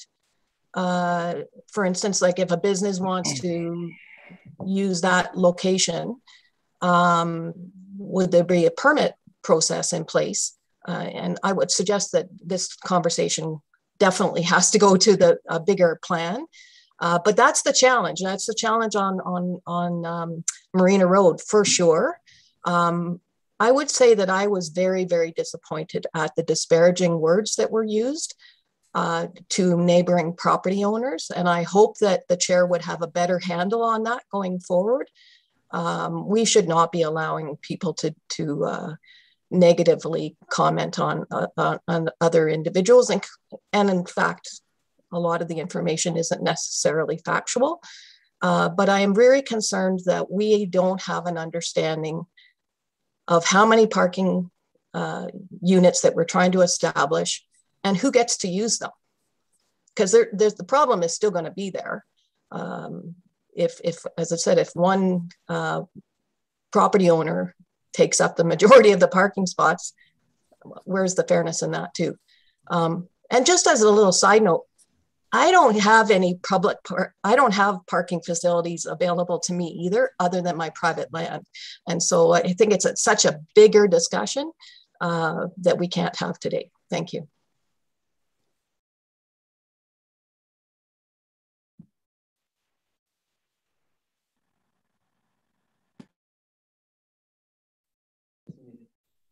Go ahead, Phil. Sorry. Sorry. Thank you very much uh, for that, Mr. Chair. Uh, I have a couple of questions, I guess, of Ken, uh, Director Becking.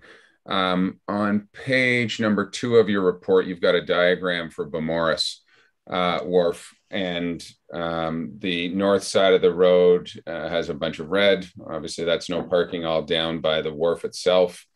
Uh, past Wilmot Store is all red. There are some green sections that allow for parking. Um, is that is what is proposed but wasn't reflected in the bylaw that's how it's signed today number one um, I, am or if we don't amend the bylaw where is parking allowed on Beaumaris Road I'll, I'll start with that first question if I may to try and get some answers Dr. Becking through you Mr. Chairman uh, the mayor is correct. The, the diagram that's included in the report illustrates what is the current signage, not necessarily what is in the current bylaw. And, and uh, you will note in the recommendation section of the report that counts, uh, that staff are recommending that the bylaw and the signage be br brought into congruence with one another. So if you approve the recommendation as presented, next month I would propose to bring forward a bylaw to amend bylaw 2053 uh, to give effect to that. If I may, Mr. Chair, then a supplemental. Um, the non or the current bylaw, if I'm not mistaken, I'm trying to go back in memory, and some of my uh, fellow counselors have been around the table when this bylaw was put in, but the or the proposal of signage allowed parking on both sides of the road, including the north side. Is that correct? Uh, Mr. Chairman, no, that's not correct. The the current signage predates the current bylaw.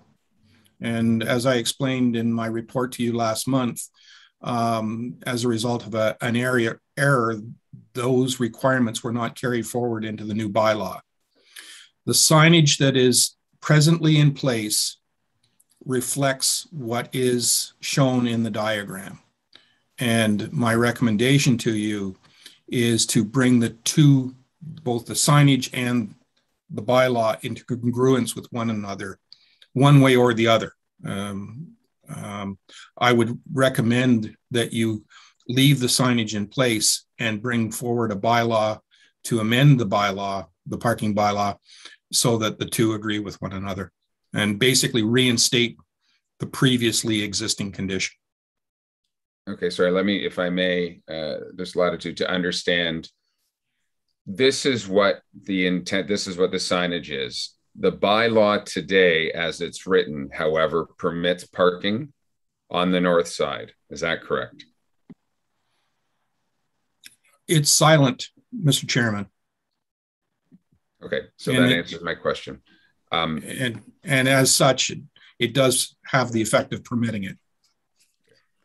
a comment, uh, Mr. Chair, if I may, at this Go ahead, point. Go ahead. Um, regarding Marina Road, obviously, I think I, I don't really want to make any changes at this particular point. Um, we're off season. Uh, we don't have the Islander need that we have. I think that uh, we can do a little bit more investigation um, and confirm some costs, what is going on with other properties around, and whether or not the parking problem will be going away for next season. But I th- certainly want it to be a uh, ongoing report. I would suggest from um, uh, maybe an update in general finance if there's any changes over the course of the next several months. Regarding Beaumaris, um, my question would be specifically to those uh, Ward B councillors in particular, and what would you like to see? Um, again, it's a more of a in-season problem than an off-season problem. Uh, would you like the signage and the bylaw to be in tandem, or want to put a pause on that right now as to uh, where we reflect or update going forward? And I, again, I'll turn to Ward B in particular at that. Okay, Councillor Roberts, go ahead. Thank you, thank you, Chair, and through you. Um, I would like the um, the uh, signs to remain, um, and I want the bylaw corrected to because of of the reason that they were put in place many years ago by previous councils because of safety issues. I believe that the transportation plan needs to look at this fully. Um, within two kilometers of the current Beaumaris, we also have parking issues on Mills Road. So this, this bringing a point up that we've got parking issues all over the place. We're just talking Beaumaris right now. So I need to see it go back in place. And then before changing anything, if we were going to entertain that, I would like to hear from all constituents in the area, because I know there are a few that are just silent at this time. Thank you. Okay, thank you. Councillor Mazan. Uh, thank you, and through you. Uh, I don't want to repeat what Councillor Roberts just uh, mentioned, but I think uh, I, I, support the direction that Councillor Roberts just said. Is it? I think we need to have these two things back the way they were, but know that it needs a comprehensive look, which is why we've all talked about this transportation master plan, finding public understanding the, the role we need to play and where and how. There's a lot of moving pieces happening um, on, on both sides of the uh, equation, private and public. So uh, I think we need to go back to where we were, and uh, and and uh, and give this a chance to to be done properly and to hear from all the key stakeholders. Thank you. Good, thank you, Councillor Edwards. Uh, thank you. I uh, agree with my uh, fellow councillors on this. Uh, it is a problem. We should be looking at it. Uh, could I ask, uh, and that Director Becking, the 800 cars a day, is that right down to the wharf or is it like, where was the count taken? Mr. Chairman, it's it was taken sort of mid block, be that as it may. Um, and um, obviously, the some of the traffic will tail off uh, um, over the length of the roadway, but uh, it's a it's a reasonable approximation. It might be hundred cars one way or the other, but not significant enough to change the decision.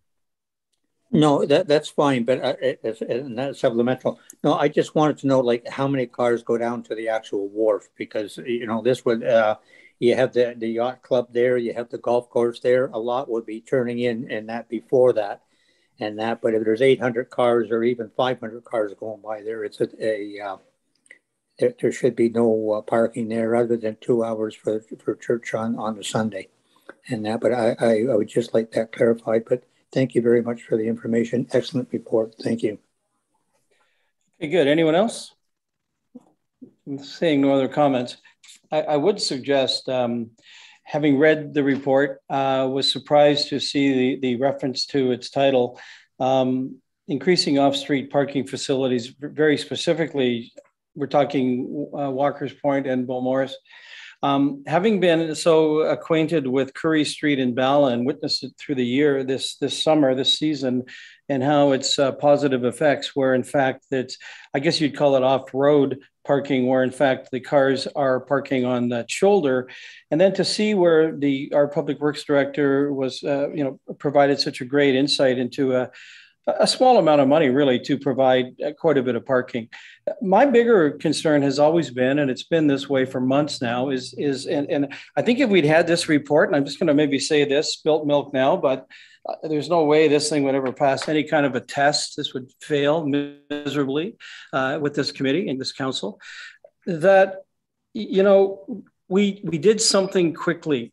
We uh, I honestly suggest I know that we sometimes don't have staff reports, but in this case, to have a staff report like this 14 months later, um, and it validates and verifies what everyone is suggesting, I will not be supporting this motion today only, and, and because um, I could not support um, us actually making a mistake and then verifying it and validating it here and now. So uh, specifically in, in Beaumaris.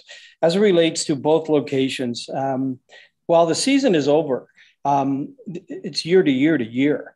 And I see no reason why, for some reason, this uh, this committee could not, for a limited 12 month period, for example, next season, allow some sense of, of, of some type of parking for uh, some of these people until they can pivot, until they can make other arrangements.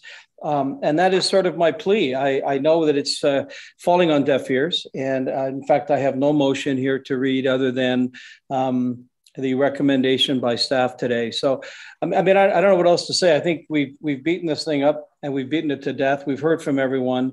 Um, to put it away to next year and uh, that 18 month uh, master roads roads plan, and um, I, I, don't know. I'm just not sure we've served our our constituents well here. So, with that, I will defer to uh, my friend uh, Councillor Kelly and then read this motion. Uh, thank you, and through you. Um, you know, I've got a couple of thoughts on here. It, it doesn't matter sort of how, well, I guess it does matter how we got into this situation, but the fact is uh, there are a few things that we have to recognize. Um, we got a report this morning. I, I, don't know how many of you have had a chance to, to look at it. And I'm taking some information from there that I don't know whether that's, you know, I have no way of validating it, but apparently this parking situation in Beaumaris has been a hundred year sort of standing issue. And that's the claim that's that's made, the assertion that's made, whether it's 100 or 10 or one minute. The fact of the matter is, these cars are not going to disappear just because we don't want them there. Um, some somehow they will have to be accommodated. To me, that means, and again, two choices: either public or or private relief will provide some sort of parking off the street for these uh, good people um, I don't think we have any ability to provide that. Hopefully, somebody who is a privateer will have the opportunity to, pro- uh, to provide that, similar to what I understand to be going on at Walker's Point. In the meantime, these cars don't go away just because we don't want to see them there. They need to be accommodated. Similarly, to the extent that this has been a long standing issue, I think notice needs to be given before we pull the rug out from under it. I think we need to give some reasonable time for people to find an alternative. I don't think the winter is the time, I don't think it's long enough, but I also don't think it's the time to find an alternative. So my preference would be to somehow accommodate what has been, a, I understand, a long-standing situation in Beaumaris and allow the people to continue to park uh, while we scramble to find a way to accommodate. That may include or may not include the overall transportation study, depending on how far out that is and how long that's going to take. But at the end of the day, saying we don't want these cars there doesn't solve anybody's problem. Uh, helping to find and accommodate uh, what is clearly a parking situation. And I applaud the fact that we're looking to uh, require new lot development and water access situations are going to have to have somewhere, uh, you know, on uh, road accessible parking. Uh, but that doesn't solve these problems that we're dealing with here today, right now. The only thing that will solve this problem is some energy around finding a solution and some time to get the solution uh, developed and put in place. And uh, I, I, think that to do anything else would would is just going to exacerbate the problem that I think we started 14 months ago. Thank you. Okay, Councillor Edwards.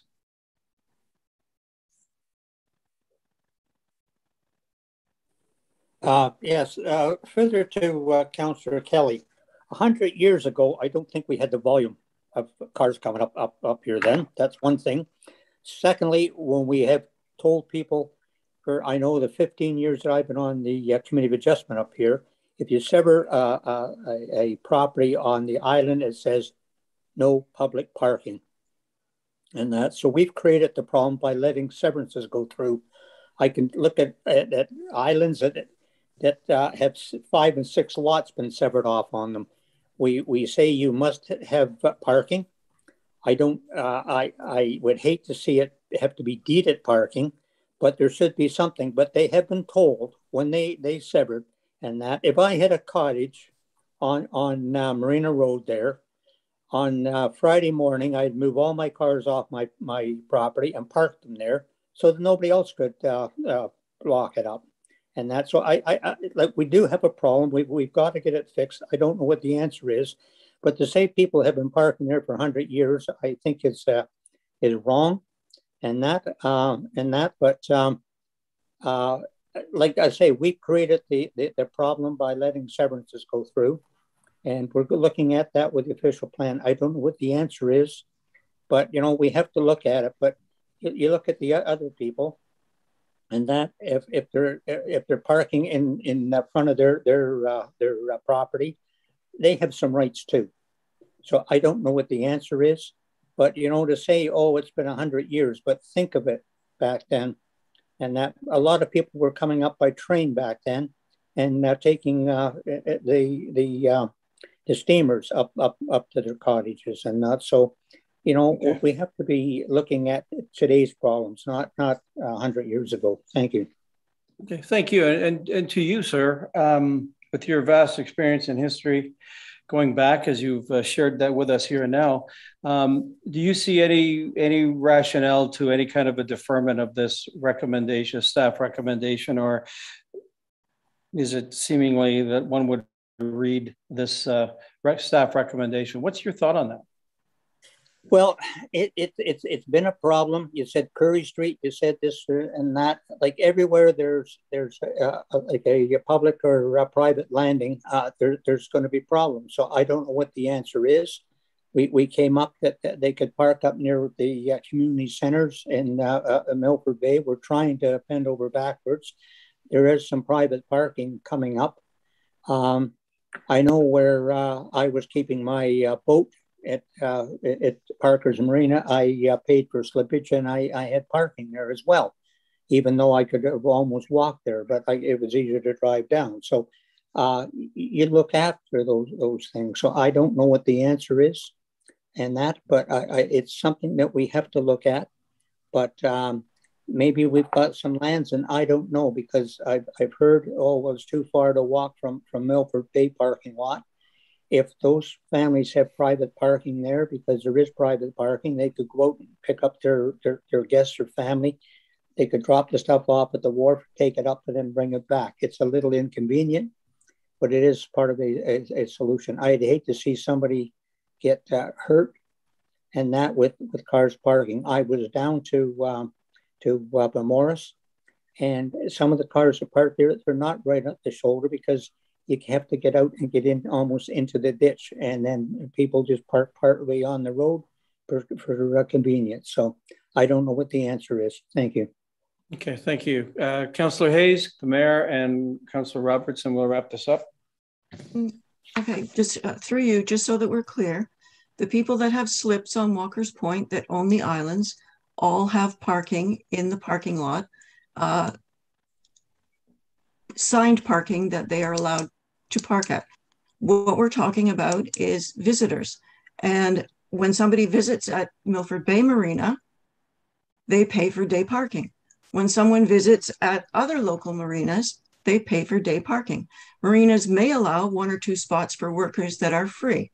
Um, that's up to the marina to supply that.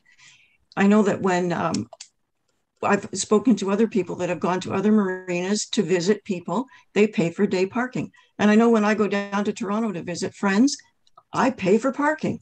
It's as simple as that. Um, and I don't think that our roads are an answer to long term parking, especially when you're talking about a business. And the only difference between parking on the road and parking off the road is uh, paying a, a day fee for being there.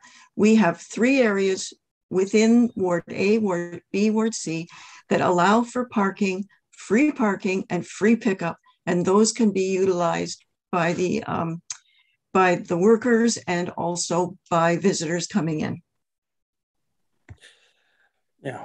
Okay. Mayor? Uh, thank you, Mr. Chair. Uh, the only change I see or recommendation today is to bring Beaumaris bylaw into the same lockstep to the council resolution from a number of years ago when we decided to amend that bylaw. We just didn't amend the bylaw. We're theoretically not making any change. We've been issuing tickets. People have been dealing with it. We've just figured out we can't enforce the tickets. I've heard quite clearly from all three Ward B councillors that they would like to amend this bylaw. I'm not getting in the way of that. The only other thing it talks about is Beaumaris Road, or sorry, um, Walker's Point and Marina Road, and we're talking about that in official plan review and transportation projects. That will be a discussion for another day. So I'm happy to vote in favor of this today. Councillor Roberts. Thank you, Chair, and through you. Um, uh, in Ward Ward B, uh, Councillor Mazin and and Councillor Edwards and I have we've had a lot of discussions on parking specifically in the area in Ward B, and I I I, I um, supportive of the report that Director Becking has presented. I just want to ask uh, uh, Director Becking one question, and then possibly um, to answer your question, uh, uh, Chair Zavitz, maybe I can propose a, a solution. Um, the, the question I'm asking uh, Director Becking, uh, Dr. Becking, the transportation plan, our master planner, um, I, and I don't want to go back to the report to remind myself, but we're looking at a completion sometime in 2023. Is that correct? Through you, Mr. Chairman, the, the intention is to issue the RFP mid-year next year. Um, it could be done in six months, but I have my doubts. I would suggest to you that a, a probable completion date would be early in 2023. That is correct. Okay, thank you. So then my, my, my question or my solution, I think, is that that's a long time to wait, as Councillor Kelly was saying for um, the constituents that have the problem. And I think we should maybe at this time consider striking a committee of, of community to uh, of a small committee to come together um, for the for the Marina Road and for um, the Beaumaris area to greenlight what possible solutions, at least get the ball rolling. Out of that discussion, perhaps there there could be you know a solution come out of left field. Um, I can think of one that's really out there for the Beaumaris area, but I'd have to uh, talk to a lot of different people and get a lot of buy-in before I would even talk about it. So I, I, think a committee would help right now, so that at least we're, we're we don't put this on the burner for a year and a half, and that's my suggestion. Thank you. Good, thank you, Mayor Harding. Thank you. Just a comment, and I appreciate uh, that we don't want to put it on a back burner for an hour, year and a half. We have a ton of projects that are sitting within this council and this term of council. Staff have identified this, and we are working towards this. Uh, I, I, I, would not be voting in favor of yet another committee to try and advance something outside of a transportation master plan uh, or as outlined by our director in this particular report. And I apologize, um, Councillor Roberts. Uh, truly trying to manage every one of our own personal time as well as outside committee time and everything. I believe our staff have this, have made recommendation. Um, and I am uh, fully supportive of following this recommendation. Uh, I did make a comment that we continue to bring maybe a quick update to parking on a regular basis to General and Finance Committee. And I think that may answer uh, Chair Zavitz's concerns about where this goes and that we do address the people. So hopefully that is enough to satisfy, but I don't believe personally that we need yet another committee to try and solve a problem outside of a master problem. Okay. Given that the mayor has spoken, uh, anyone else? I see no hands. Okay, well, um, moved by Councillor Bridgman, seconded by Councillor Edwards, be it resolved uh, that the General Finance Committee recommend to Township Council that the township's official plan review and transportation projects be completed and endorsed by council as soon as is practically possible and that the township's parking bylaw be amended to bring it into alignment with the signage that is currently in place on Beaumaris Road. All those in favor?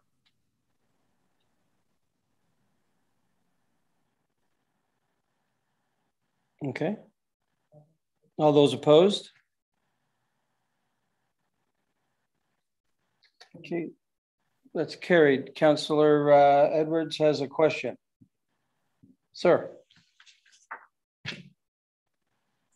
No, it was from the last one, and I didn't see my hand up there. Thank you. Cool. Thank you. Thank you. Okay, item 5B, uh, Director Becking, you're, you're on the dance floor again. Uh, report from you on the Bala Arena Alternative Uses Winter 2021-22 was requested at the September 15 GNF uh, committee meeting. Sir, your report, go ahead. Thank you, Mr. Chairman. Um, as requested, uh, staff have uh, reviewed uh, possible alternative uses if, uh, for the arena if the ice is not to be put in in the coming winter season. Um, and um, if it's uh, committee's wish that uh, we pursue this, we would be happy to do so. I'll take any questions. Good, thank you. Okay, committee? Um, Councillor Nishikawa, you want to? Thank you. Couldn't get my hand up. Um, mostly, I, I'm hoping that we're leaving the door open, that if, for instance, a group uh, comes forward that is going to offer a, a, an, an, additional uh, recreation opportunity, that we would leave our our options open and our doors open. Um, you know, things are changing very quickly in this province. It, you know, certainly we've seen that with the Leafs and things like that, allowing 100% capacity. Um, some of the rules that, you know, it was already spoken about by the mayor, the rules are not making sense when it comes to um, what happens in the township Muskoka Lakes. So I hope that it's not restricted as to some of the suggestions that were put here, uh, but that we do allow for other groups to come forward for recreational opportunities in Ward A. Thank you. Good, thank you. Any other, uh, Councillor Hayes? Go ahead. Um, thank you. And through you, I did hear from half a dozen people um, in the Bala area. Their first choice would be to have, the uh, ice back in. Uh, the reason being is they do a lot of uh, winter uh, events with hockey tournaments, and that really helps the local economy in the winter.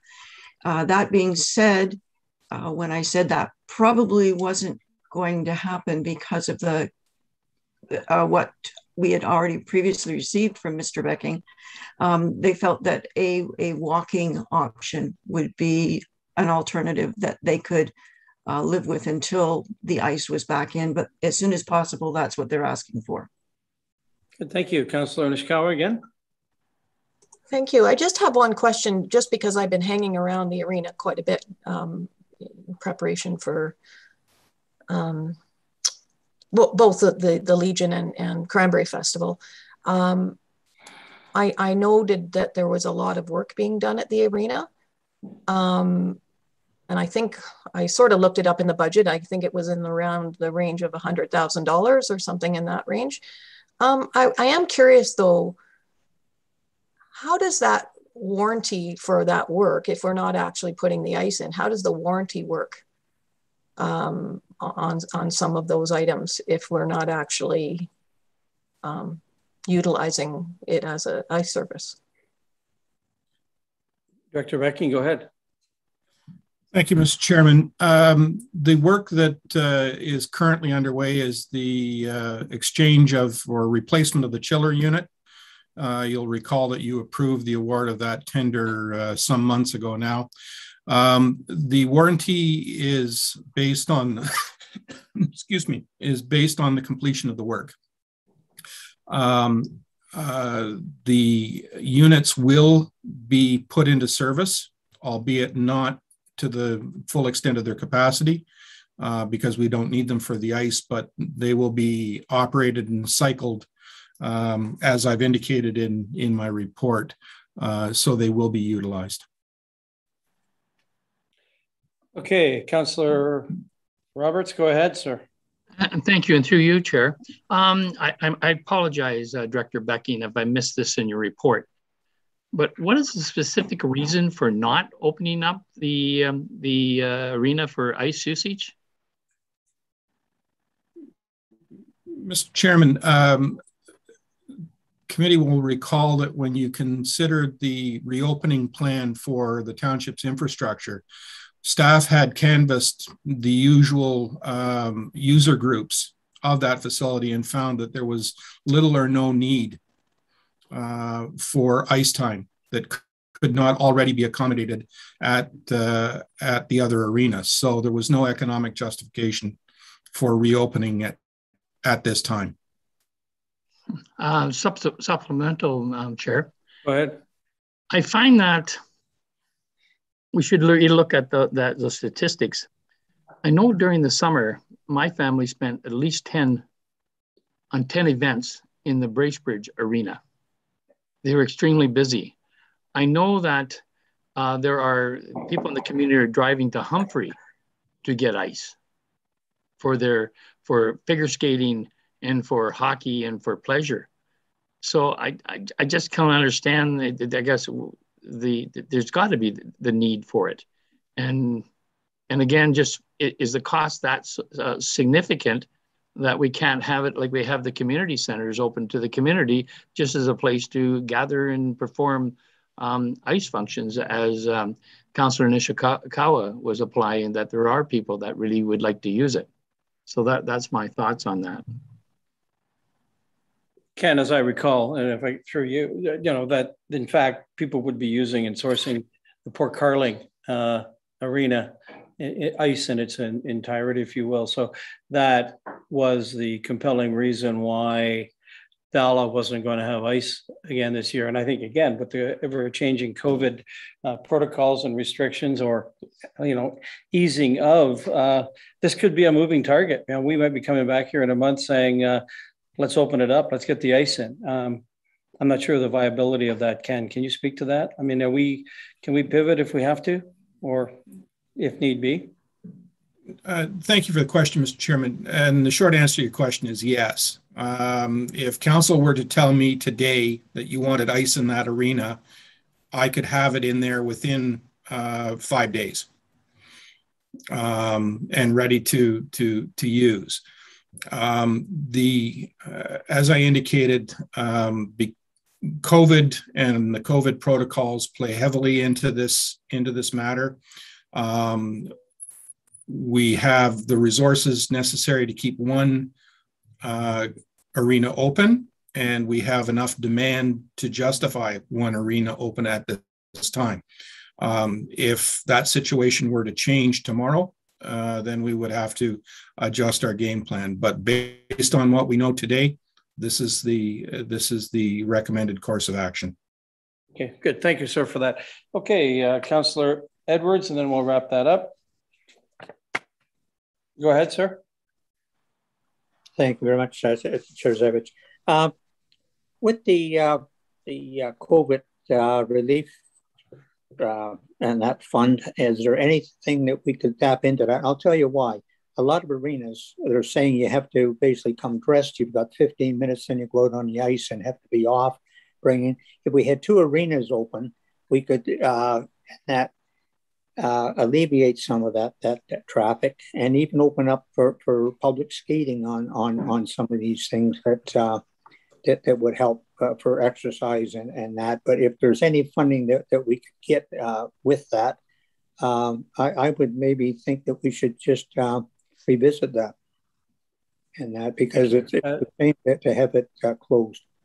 Thank you. Okay, to, and to Ken, I'm is it, it's not so much a funding issue as a, a practicality issue, is it not? That's correct, Mr. Chairman. It's just it's COVID. COVID's here. Okay. Uh, all right. I'm going to read this uh, resolution uh, moved by Councillor Jaglowitz, uh, seconded by Councillor Kelly. Be it resolved that the General Finance Committee recommend to Township Council that the Bala Arena be made available for alternative uses on a scheduled basis for the 2021-2022 winter season, as outlined in report number PW-2021-025, dated October 13th, uh, 2021. All those in favor? Good. Thank you. Carried. Here comes the emails. Okay, thank you for that. Uh, and thank you, uh, Director Becking, for your time today, for your reports. Uh, I'm going to now call on Mark Donaldson, item 6B, as it relates to his report on authorization to release a, uh, an RFP for audit services. Uh, Mark, you've got the floor, sir. Excuse me. Thank you, Chair. And uh, this report is fairly straightforward. Um, it's been eight years since we've gone out to tender for RFP services. We did a 2013 uh, call uh, and awarded that contract to BDO. We did a three-year extension a few years ago with the completion of the 2020 audit that we saw earlier today. Um, our contractual obligations with BDO are complete, and this would be a, a process to go for competitive bidding services for auditors for the next uh, period of time, up to five years. Okay, thank you, sir. Uh, committee, any comments? Any questions of Mark? Okay, with that, I'll read this resolution moved by Councillor Roberts, seconded by Councillor Hayes. Be it resolved that the General Finance Committee recommend a Township Council that staff be authorized to issue a request for proposal for audit services for a term of up to five years, commencing with the 2021 fiscal year. All those in favor? Good, that's carried. Thank you, committee.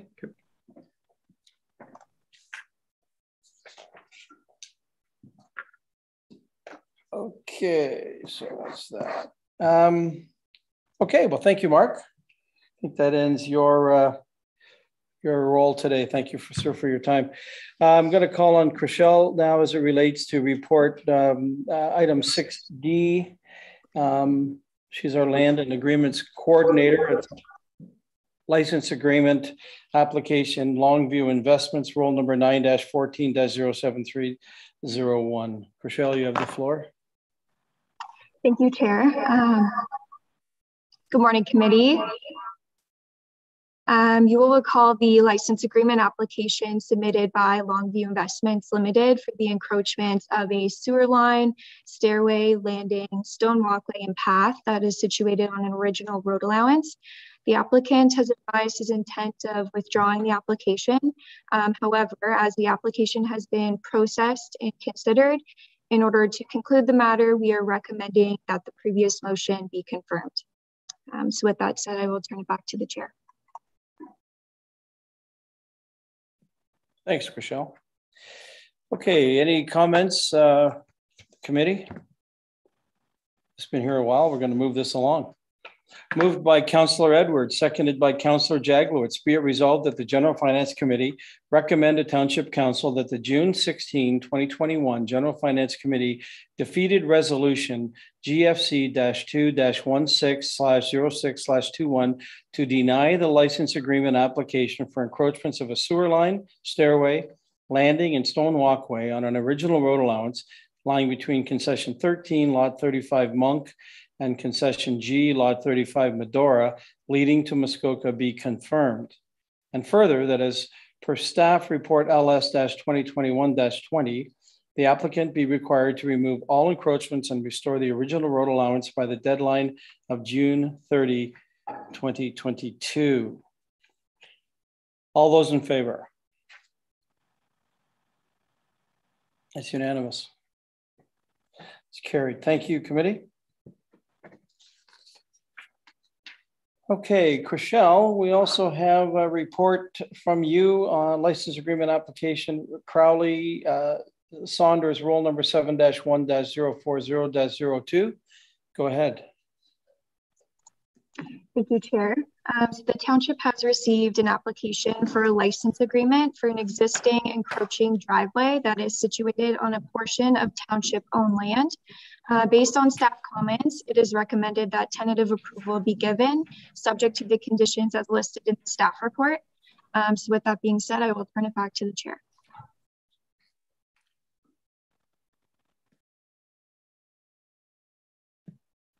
Good, thank you. Okay, there's a hand up. Councillor Hayes.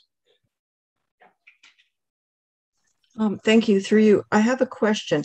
Um, the agreements refers to 2003-5 bylaw that restricts the right of public passage subject to um, leases and licenses. Does that mean by giving this person access to go across uh, part of our public land in a form of, of driveway, that area is now restricted from use from the public? Okay, good question. Chriselle?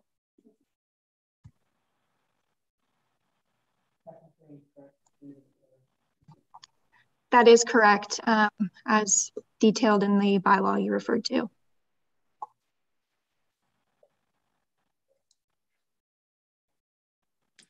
Supplementary, Councillor Hayes? Uh, yes, being that they are are not paying any funds um, other than the fact that they are paying for the insurance because they are crossing over it. Um, is there a way that we could still allow that portion of our public right of way to be used by the public? It, it's not like normally when there's an encroachment, there is a, a structure something is on there that that people can't get around and it belongs to the other person this is just a driveway that goes through to the property so i'm just wondering if there's any relief that we can get from uh, 2003-05 that will allow this area of the driveway to remain public let's ask uh, our clerk cheryl mortimer that Good morning. If that is the desire of the committee, that we would have no issue with uh, respect to waiving that bylaw with respect to this specific um, license agreement. We could put a clause in that.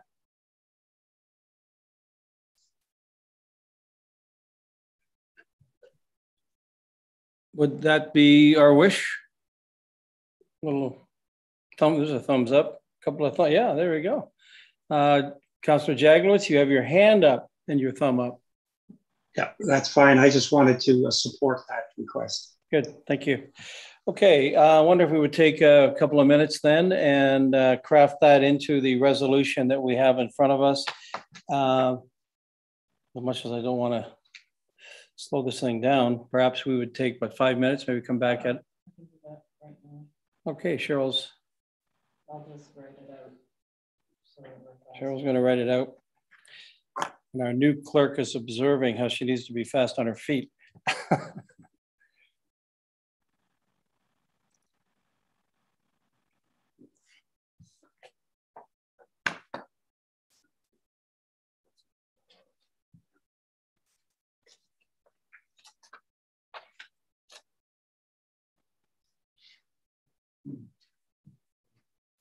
if we can be Cheryl, if we can make sure that we have Sarah Lehman in the queue, she'll be she'll be up as a six F right after. Yep, good stuff. Here she is. And I'm after.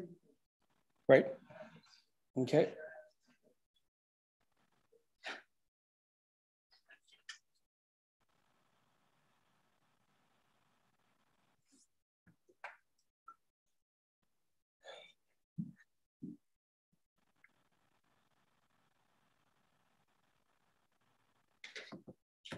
That should work.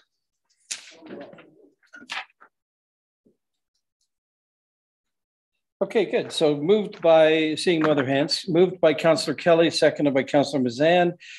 Be it resolved, that the General Finance Committee recommended Township Council that the application for a license agreement to maintain an existing driveway situated on a portion of township-owned land, Roll 7-1-048, lying in Lot 41, Concession 7, Bala, Crowley Saunders, sorry, Roll 7-1-040-02, be approved in accordance with Township uh, Council Policy CLS-07, subject to the following conditions. That a draft survey be prepared and provided to the township for review prior to registration, that no annual fee be required as the license agreement is for a driveway, that once the above conditions have been fulfilled, a bylaw be passed at a future council meeting to authorize the mayor and clerk to execute any documents required for the license agreement, and further that the conditions of bylaw 2003-05 be waived. All those in favor? Good. That's good. Thank you.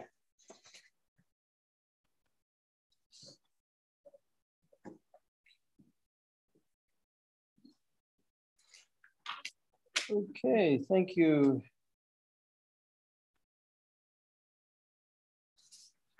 Two of those, that's great. Okay, thank you, Chriselle, for your time. Appreciate your reports. Uh, we're moving on to item 6F to report from our Sarah Lehman, Human Resources Manager relating to health and wellness uh, and staff supports. Sarah, your report, welcome. Great, thank you. Good morning, everyone. Thank you, Chair. So this report provides an overview of staff health and wellness improvements corporate-wide a proposed revision to the health and safety policy statement, and a proposed enhancement to the extended benefits program. Staff have been following the psychological health and safety in the workplace standard in order to have a clean, clear framework for implementing wellness initiatives. In general, the more areas of the standard we implement and promote, the more we invest in our safe workplace culture. A proposed change to the health and safety policy statement has been included in the appendix, and the purpose of this change is to show that safety encompasses all aspects of well-being, physical and psychological, and a commitment from the senior levels of leadership is a best place to start. In an effort to improve the wellness program and respond to mental health challenges, which have been increased from the pandemic, a proposed change to broaden the definition of mental health provider in the benefits plan has been included. The current coverage is $300 per person per year for a psychologist, and we're recommending to um, maintain the coverage amount and just change the um, provider to uh, psychologist, psychotherapist, psychoanalyst, and social worker. And we do not anticipate a significant increase in cost. Uh, regardless, this claim cost area will be monitored and trends reported back next year. Thank you, and I'm happy to answer any questions at this time. Good, thank you, Sarah. Appreciate it. Okay, committee, any questions of Sarah and her report? Okay, thank you, Sarah. Uh, moved by Councillor Nishikawa, seconded by Councillor Roberts. Be it resolved uh, that the General Finance Committee recommended Township Council that the revised health and safety policy statement attached as Appendix one to report number HR 2021 02. Sorry, that might be Appendix I. Uh, be approved and that staff be authorized to direct the township's benefits insurer to broaden coverage within the existing psychologist benefit as described in report number HR 2021 02. All those in favor? Uh, Sorry. Uh, okay, Councilor Nishikawa is not in the meeting. Councilor Nishikawa, are you there? She's not here, so we'll change that to. Mazan.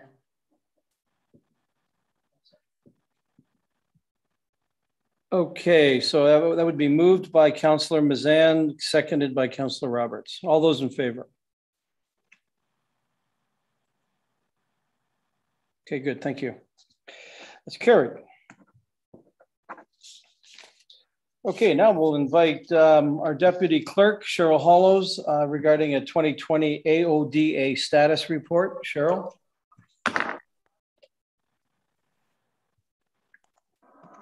Uh, thank you, Chair Zavitz, through you to, uh, to committee. Good morning.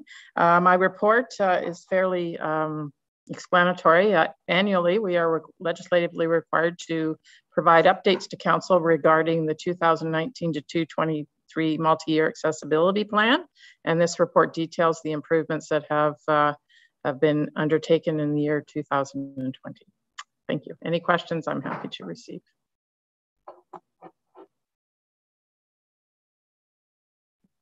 Good, thank you. Uh, committee?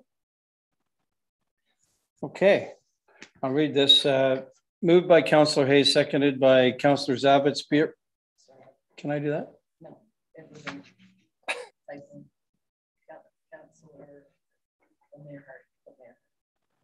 Mayor Harding.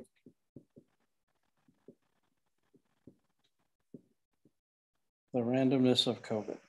Moved by Councillor Hayes, seconded by Mayor Harding, be it resolved that the General and Finance Committee recommend recommended Township Council that the 2020 Annual Accessibility Status Report as presented on October 13, 2021 be received. All those in favor? Good, thank you, committee. Sorry, Councilor Nishikawa is, sorry, Councilor Mazan. Okay, so that's eight. Okay. Oh, Councilor Mazan, sorry. I apologize. I just have been freezing, so I missed um, a good chunk of what you just talked about. So I'm not sure if you're waiting for me to vote. We, we just wait for voting. you to vote. Yeah. So are you unable to vote if that's the case? I don't know. I just I didn't hear what you were saying, so I don't know if it needs to be repeated or. Well, I'm happy to read the resolution again. Sorry. You, you, did you hear uh, Cheryl Hollow's report? or a reference to her report? I heard the tail end of it, but I've read the report. So okay, I. Okay, so I'll read this again. Thank you. I'll read, I'll read this again. Absolutely. Council uh, moved by Councillor Hayes, seconded by Mayor Harding. Be it resolved that the General Finance Committee recommended Township Council that the 2020 annual accessibility status report as presented on October 13th, 2021 be received. All those in favor? Good, thank you. That's carried. Thank you very much. Okay, um, here we are, item 7A, committee. Uh, the minutes of the Parks and Trails Advisory Committee. I'll receive those onto the into the record. I don't, if there's any commentary, if you'd like, you're certainly welcome. If not, I would uh, move to uh, item 7B, which is the minutes of the, uh, the Rec uh, Parks, Trails, and Facilities Master Plan Steering Committee meeting minutes of September 9th. Is there any commentary you'd like to share with us on the status of that, or we recently had meetings, more to come? Uh, seeing none, okay. So we'll again take those uh, into the public record. Thank you. Uh, economic development, item eight, there was uh, no meeting this month. Item nine, unfinished business. Is there, uh, committee, any unfinished business you'd like to uh, bring forward? Seeing none. Okay, item 10, new business, uh, direct uh, the district municipality of Muskoka updates. Mayor Harding's on the bubble, so we might as well start with him. Mayor Harding, do you have anything to um, report to us this month? Yeah, just give you the quick highlights. Uh, we actually had two meetings, one of them being that of yesterday. Um, but uh, um, Santa's Village Road is sort of one big update that's uh, been about several years in trying to figure out the solution, but we're still working on it. Um, there's a new draft silent, sign bylaw that's going to be coming in the coming uh, weeks or coming months, um, and that should address some of our issues. The biggest item of note however, happened yesterday at a meeting. You may have heard it on the news today. Uh, our committee is recommending a new uh, solid waste curbside collection contract uh, to be handed to GFL uh, Corporation. Um, we uh, released our contractor about uh, two months ago, three months ago, and served them notice and uh, their contract will expire the end of 2022, October of 2022. They're going to provide service till then, at which point GFL will be picking up um, the new contract. There is an increase in organics that will be done, and uh, there's also our curbside uh, recycling, uh, and all of our recycling contract is included in that solid waste contract as well. Um, so that's my report. We're changing our service providers. Good, thank you. Uh, Councillor Nishikawa. Is she here? She's not here. Moving on, Councillor Jaglowitz, you go right ahead, sir. Uh, thank you, Mr. Chair. Um, the Finance and Corporate Committee, uh, Corporate Service Committee met on September 20th. A few interesting things. Um, the committee considered whether or not to increase the uh, technology stipend for members of district council. There was a survey that the only one that's even talking about it, uh, the area municipalities is ours, all the rest are not. So it was decided not to do that. By the way, that stipend is $1,692 a year.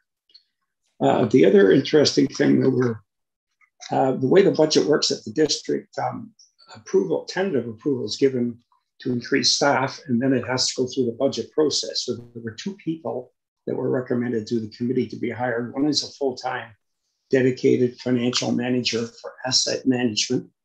That's an annual salary of about 132,000 and taking a uh, another person in facilities management who is part-time and making them full-time.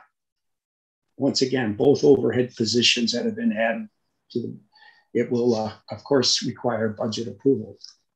The last item is just interesting that uh, the uh, Strategic Corps recommended the District Council that they enter into some shared uh, uh, programs with lower municipalities. One was started sharing legal services with Huntsville and Georgian Bay.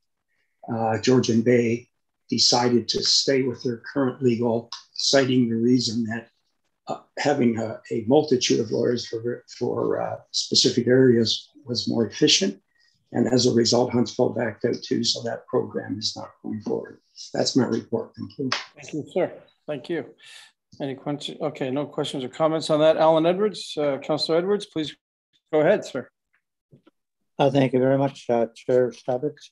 Um, we had the, a, a public meeting on um, uh, Moose Deer uh, uh, community drinking water intake and that. And um, basically, they just have a, uh, a zone of about 100 meters, uh, uh sorry, 1,000 meters, and, and they're letting property owners know. There was a public meeting on Trail Ridge Homes. And uh, uh let's see, we had a verbal update on uh, uh, child care. And um, the Muskoka Affordable Housing Initiative Program get the uh, amount here. And that uh, the funding allocation of 560,000 be uh, transferred in that to uh, affordable housing. Uh, Gravenhurst against uh, property for uh, seven affordable units. And that was passed. And uh, that was vote in on that one, and uh, there wasn't too much. okay, thank, you. thank you. The uh, township. Thank you. Thank you, sir.